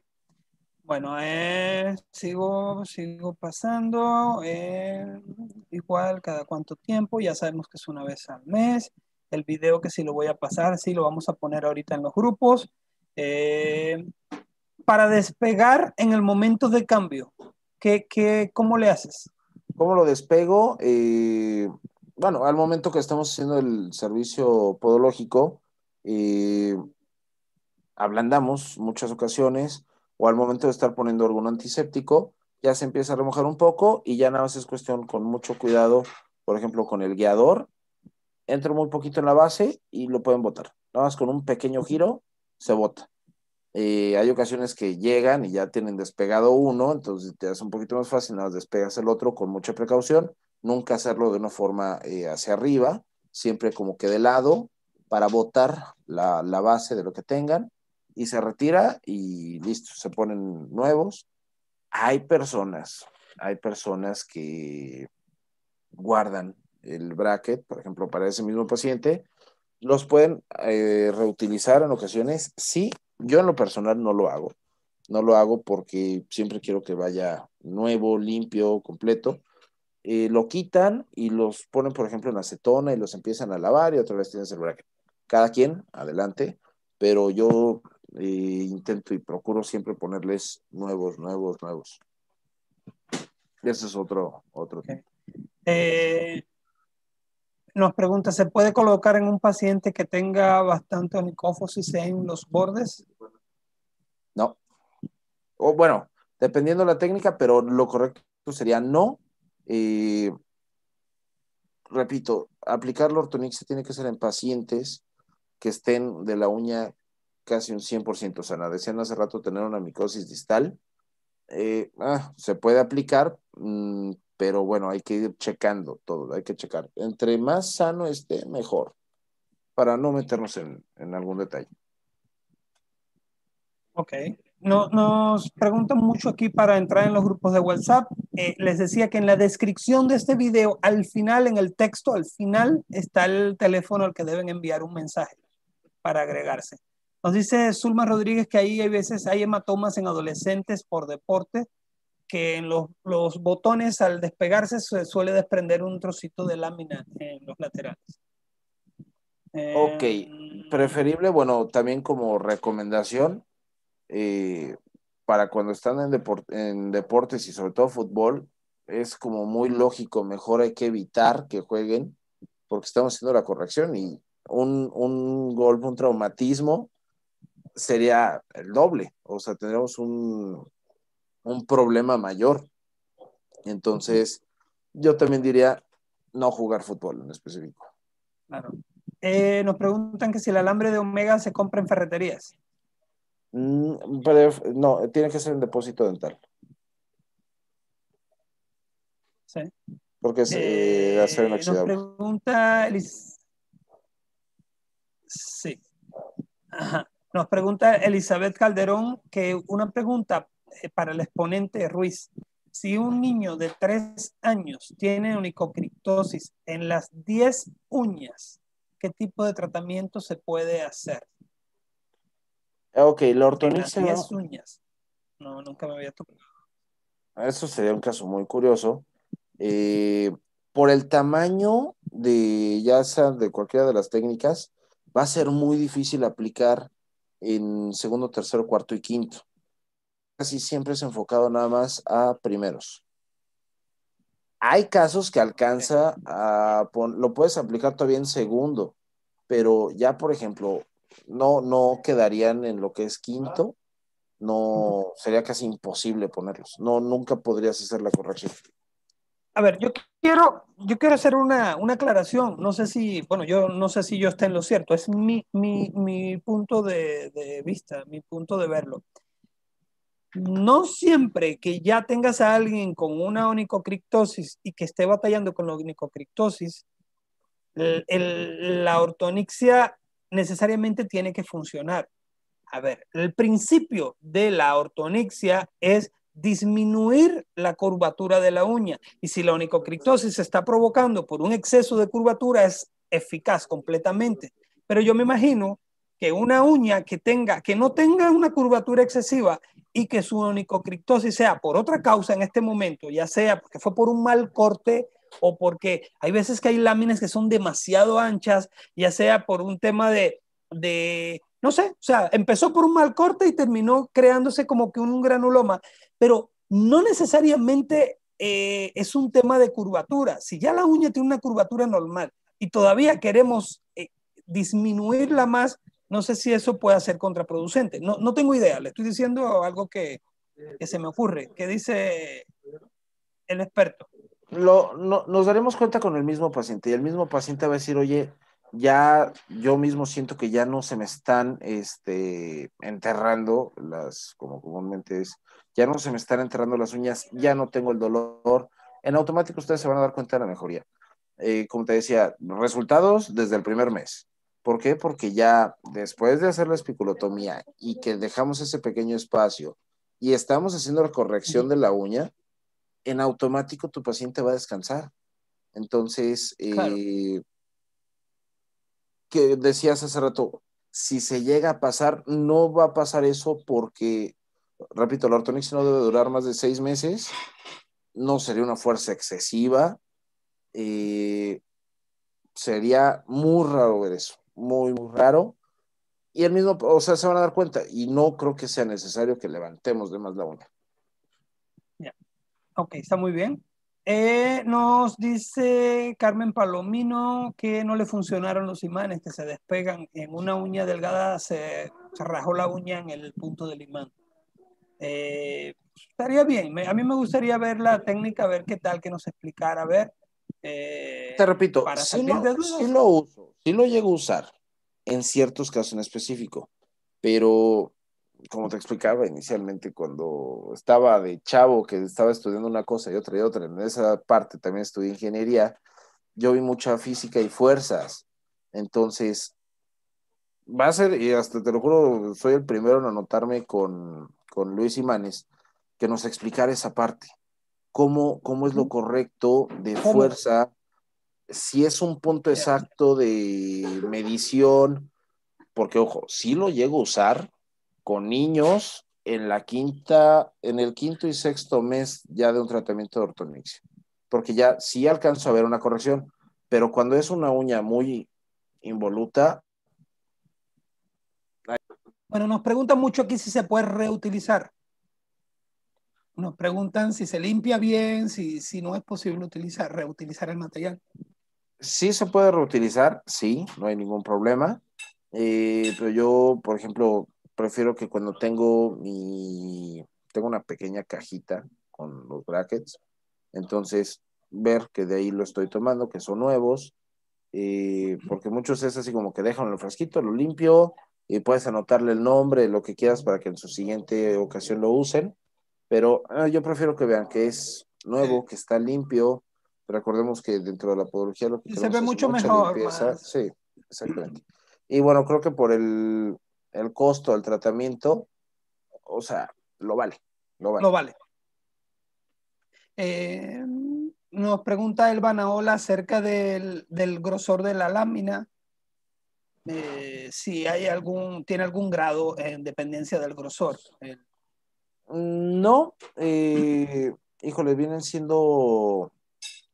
Sabes que esa va a ser una súper pregunta, pero para Raquel Escalante que nos ayude, ella que las fabrica, Eh, sí no tiene que ser tan gruesa, eso sí, eh, pero tampoco es tan delgada. Repito, lo que necesitamos es que sí tenga esa pequeña rigidez para que eh, tenga la fuerza y levante la uña. Nos pregunta Silvia Pereira, ¿el omega al levantar la uña en el lateral no provoca onicólisis? Después que la retires, ¿no hay una afección ahí? No, eh, repito, bueno, yo cuando la coloco pongo un poquito de algodón para no generar tanta presión porque sí, eh, como se dijo incluso inicial, no, este, los omegas son el único procedimiento que sí llega a ser doloroso porque sí, literal, es un pequeño ganchito eh, que pues sí llega a ser un poco, un poco doloroso. Nos dice Raquel que es de 2 milímetros de altura. 2 milímetros está perfecto. Sí. Nos pregunta Pilar Chávez si se puede hacer ortonixia en pacientes diabéticos sin peligro de alguna complicación. Mm, no, no necesariamente tiene por qué haber alguna complicación, incluso mucho menos si la diabetes está controlada y, y, es un paciente tratándose, ¿no? Eh, Raquel dice que las bandas de memoria que fabrica la fabrica con fibra de vidrio. Ok, pues muchísimas gracias. Tenemos que probarla, ¿no? La teoría no, no es suficiente. pues. No, fíjate que yo eh, ya la probé ya unas, unas de, de, las de Raquel, ahorita que la vi, por ahí me regaló una. Sí es un poquito más rígida que tal vez la que se encuentra en el, en el depósito dental, pero igual, o sea, sigue siendo muy buena función y repito, estos son fuerzas y levanta. Y estas sí son un poquito más duras, pero igual, a mí lo que me interesa es que hagan la fuerza y están muy, muy bien esas. Claro, claro, está muy bien. Yo, mira, ¿sabes qué? Yo tengo unas que son muy, mm, que te digo que yo siento, yo las doblo y yo digo, mmm, esto está muy suave, yo siento que esto no va a funcionar muy bien. Son las que he usado. Capaz que pueda dejar esas para niños, para láminas más delgaditas, algo así. Bueno, es que otra cosa importante es que, por ejemplo, si yo tomo esta carpeta, está grande, pues es bien fácil doblarla. Pero si yo tomara solo un pequeño pedacito. sí. sí, sí, también. Hasta se escucha. Es lo que va cambiando. Y esa es la pequeña fuerza que sí se necesita un poco más. Bueno, pues yo creo, esas son todas las preguntas. Me salté muchas porque ya vi que eran repetidas. Eh, hay muchos agradecimientos, de verdad te agradecemos eh, por tu tiempo, Héctor, por, yo encantado, yo encantado. tu manera de ser, por, por la, la, sencillez y las ganas de ayudar. Eh, Sabes que en estos grupos que hemos creado, es ya casi somos una familia. Se preguntan muchas cosas, se contestan muchas cosas. La verdad es un ambiente muy, muy padre y estamos tratando de que de que todos sean personas así como tú, ¿no? Sean personas que, que no les importe compartir, que los egos se vayan quedando a un lado. Tenemos doctores, tenemos directores de, de, de escuelas de podología, tenemos mucha gente preparada. Y ahí está, junto con estudiantes, junto con, con personas que incluso todavía no están estudiando la carrera, pero que lo tienen en planes. Y es la verdad un ambiente muy, muy agradable. Eh, gracias por, por, traernos este tema, por ser de la manera que eres y... No, gracias. Y, y te invitamos a que, a que nos sigas colaborando y a que participes sí, en nuestros grupos. Sí, sí, sí, sí, sí, sí. Yo más que encantado. Eh, no sé si tienes alguna otra duda, tú mismo, Silver, o bueno, yo tengo dudas, mucho. pero, pero ¿sabes qué? Yo creería que es mejor invitar a todos los que nos están viendo a los talleres. Exacto. ¿Qué hay, qué hay a, a, corto plazo, a mediano plazo ¿qué, qué podemos tener como para Mira, aprender bien? Sí, te digo, ahorita tenemos uno que va a estar exageradamente bien. Eh, ah. Déjame ver si lo puedo compartir de una vez.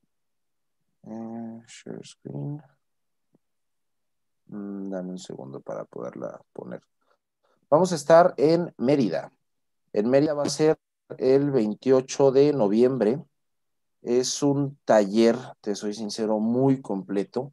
Eh, sí, con validez eh, oficial. Va a estar eh, ozonoterapia, va a haber ozonoterapia, taller de ozono. Eh, sí te lo digo por un super experto, el señor Eduardo Calleja. Va un muy buen amigo de Raquel, que es un técnico superior universitario en radiología. Va vamos a dar un taller de radiología aplicada a la podología. También el radiólogo es este, estudiante de la licenciatura en podología en la UDG. Eh, va Raquel eh, con reconstrucción ungueal y este tema completo, completo de ortonixia.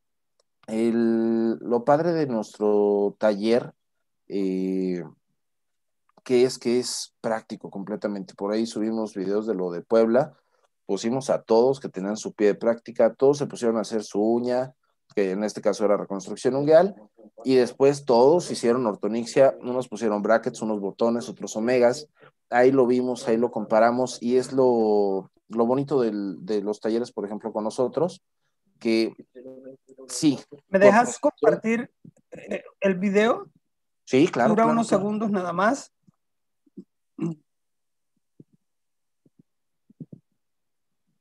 ¿Sí se ve? Sí, esos son eh, botones. Eh, ¿Cómo le doy play? A ver, se me perdió, espérame. Eh, se me fue. Se me perdió el play. Deja de ver.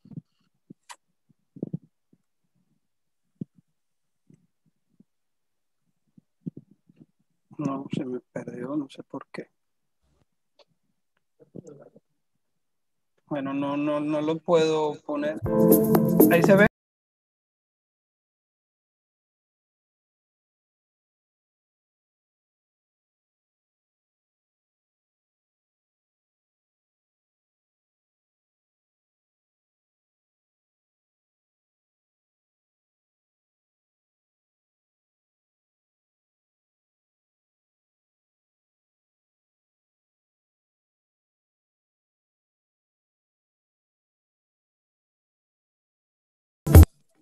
Ya, ¿estuvo bien? Ese fue, ese fue el taller de exactamente de lo de Puebla. Eh, eso relativamente hasta se ve como muy sencillo, pero obviamente es un pie de práctica que está planito, entonces pega eh, súper eh, fácil. Al final quizás uno puede pensar, al pensar, al final uno puede pensar, el procedimiento no es complejo. Aquí lo complejo es lo que hay detrás. ¿Cómo yo definí qué método? Cómo yo sé el lugar exacto, cómo yo le hice para que eso no se te despegue a los cinco minutos, cómo yo le indiqué al paciente qué tiene que hacer después que salga de aquí, cómo yo le pude dar un seguimiento y cómo yo pude después comprobar que en realidad hay un resultado. Pero el ponerlo quizás así, cualquiera diría, viendo un video en YouTube, ya aprendo. No, no es así, créeme que no es así. Para eso son los talleres, para que de verdad puedas, eh, eh, puedas hacerlo como debe ser. Exacto. Por ahí, mira, ahorita justo acabo de compartir el, el evento que vamos a tener 28 de noviembre. Eh, me falta agregar, me falta agregar lo de la ozonoterapia, pero ahí está, mira, radiología aplicada a la podología, eh, obviamente por un, por un experto, va reconstrucción ungueal y van ortonixias. Este sí es eh, el evento más cercano que tenemos por el momento. Entonces, más que nada, la invitación a todos eh, me pueden contactar, igual ahí está el teléfono, mi celular que está en la parte de hasta abajo. Puede ser por WhatsApp, eh, puede ser por aquí mismo por eh, Facebook. nosotros queremos invitar a todos. Hay ciertos videitos por ahí incluso en mi, en mi perfil de los talleres pasados y va a estar buenísimo este curso, si te lo digo. Todo esto que vimos de ortonixes fue un encimita. Ya estando en, en los talleres es a fondo y casi casi vamos checando todas las uñas, eh, enseñamos todo procedimiento. Eh, sí me tardé, soy sincero, como dos semanas y media haciendo esta presentación, porque yo saqué foto de todo para que a todos quede súper claro cómo, por ejemplo, la pinza Nance, dependiendo de los escalones, es el tamaño de omega que vas a utilizar, y por el otro lado una alicata canalada para hacer el borde del omega cómo se tiene que hacer de la forma correcta, hay diferentes eh, alicatas acanaladas, entonces de ahí es donde vas, este, ahí es donde practicamos todo esto, y esto es al 100% y obvio con validez oficial. Claro, no, y es que no hay como, como, como practicar, como hacerlo. Y aquí el tema es que donde te puedes equivocar es en el taller, no te puedes equivocar con el paciente. Entonces, por eso es importante el taller, porque dice, bueno, ya vi el video, déjame hacérselo a un paciente. No, no funciona así, porque no, te puedes equivocar ahí. Entonces, bueno, pues... Todos los que se registran ya viene, o sea, el paquete completo, ya al momento que se inscriben, ya casi casi estamos asegurando que van a tener su pie de práctica, vamos a tener todo el material que se necesita. Tal vez sigamos a pedir que se lleven, no sé, unas alicatas o una cucharilla, de algo básico que tienen en el consultorio, y si no, bueno, ya hay ciertas casas comerciales que nos van a acompañar e igual ellos venden el instrumental eh, para que saliendo de nuestros talleres se vayan directo al área laboral, al campo y puedan aplicar todo esto. Ya es padrísimo, padrísimo todo. Excelente. Bueno, pues ya están todos invitados a este taller de actualidades de podología, Mérida 2020, el 28 de noviembre. 28 de noviembre. Ya. Pues, ya, ya casi. Ya casi. Por eso, por lo mismo, igual, recordando el tema pandemia, no podemos tener grupos tan grandes. Entonces, y a la vez no los queremos hacer tan grandes, Silver, porque queremos estar con todos, porque a todos nos surgen dudas. Y ahí nos ves corriendo eh, con todos, a todos los vamos a dar. Y, y es para eso, es para que practiquen, para que lo vean, que las dudas del momento ahí mismo las resolvemos, nosotros con mucho gusto les vamos a ayudar y pocos lugares para enfocarnos bien en todos. Eso es para nosotros muy importante. Entonces ahí está 28 de noviembre, nos vemos en Mérida y ya pueden ir, ya empezaron varias personas que ya se quieren registrar, pero ya desde ahorita ya lo pueden ir haciendo. Bueno, y ahí en los grupos de WhatsApp les vamos a poner el, el, anuncio para que participen todos. Muchísimas gracias. No, pues gracias a ti, Héctor. La verdad fueron dos horas y medias eh, que pasaron rápido. Nos dio mucho gusto conocerte. Eh, no, gracias. Te voy a agregar, te agrego los grupos de WhatsApp. Y ya ahí cualquier duda, ahí tenemos a, a quién podemos acudir para este tema de, de ortonixia. Y gracias, gracias nuevamente por, por estar aquí. Y que Dios te bendiga. Igualmente, Silvio, muchísimas gracias. Saludos a todos. Que, que, que, se cumplan esos planes a corto, a mediano, a largo plazo, y que sigas creciendo como ser humano primero, como profesional también. Gracias, Silvio. Gracias a todos por estar aquí esta noche con nosotros, por acompañarnos. Suscríbanse a, al canal para que puedan ver los contenidos que todas las semanas tenemos. Eh,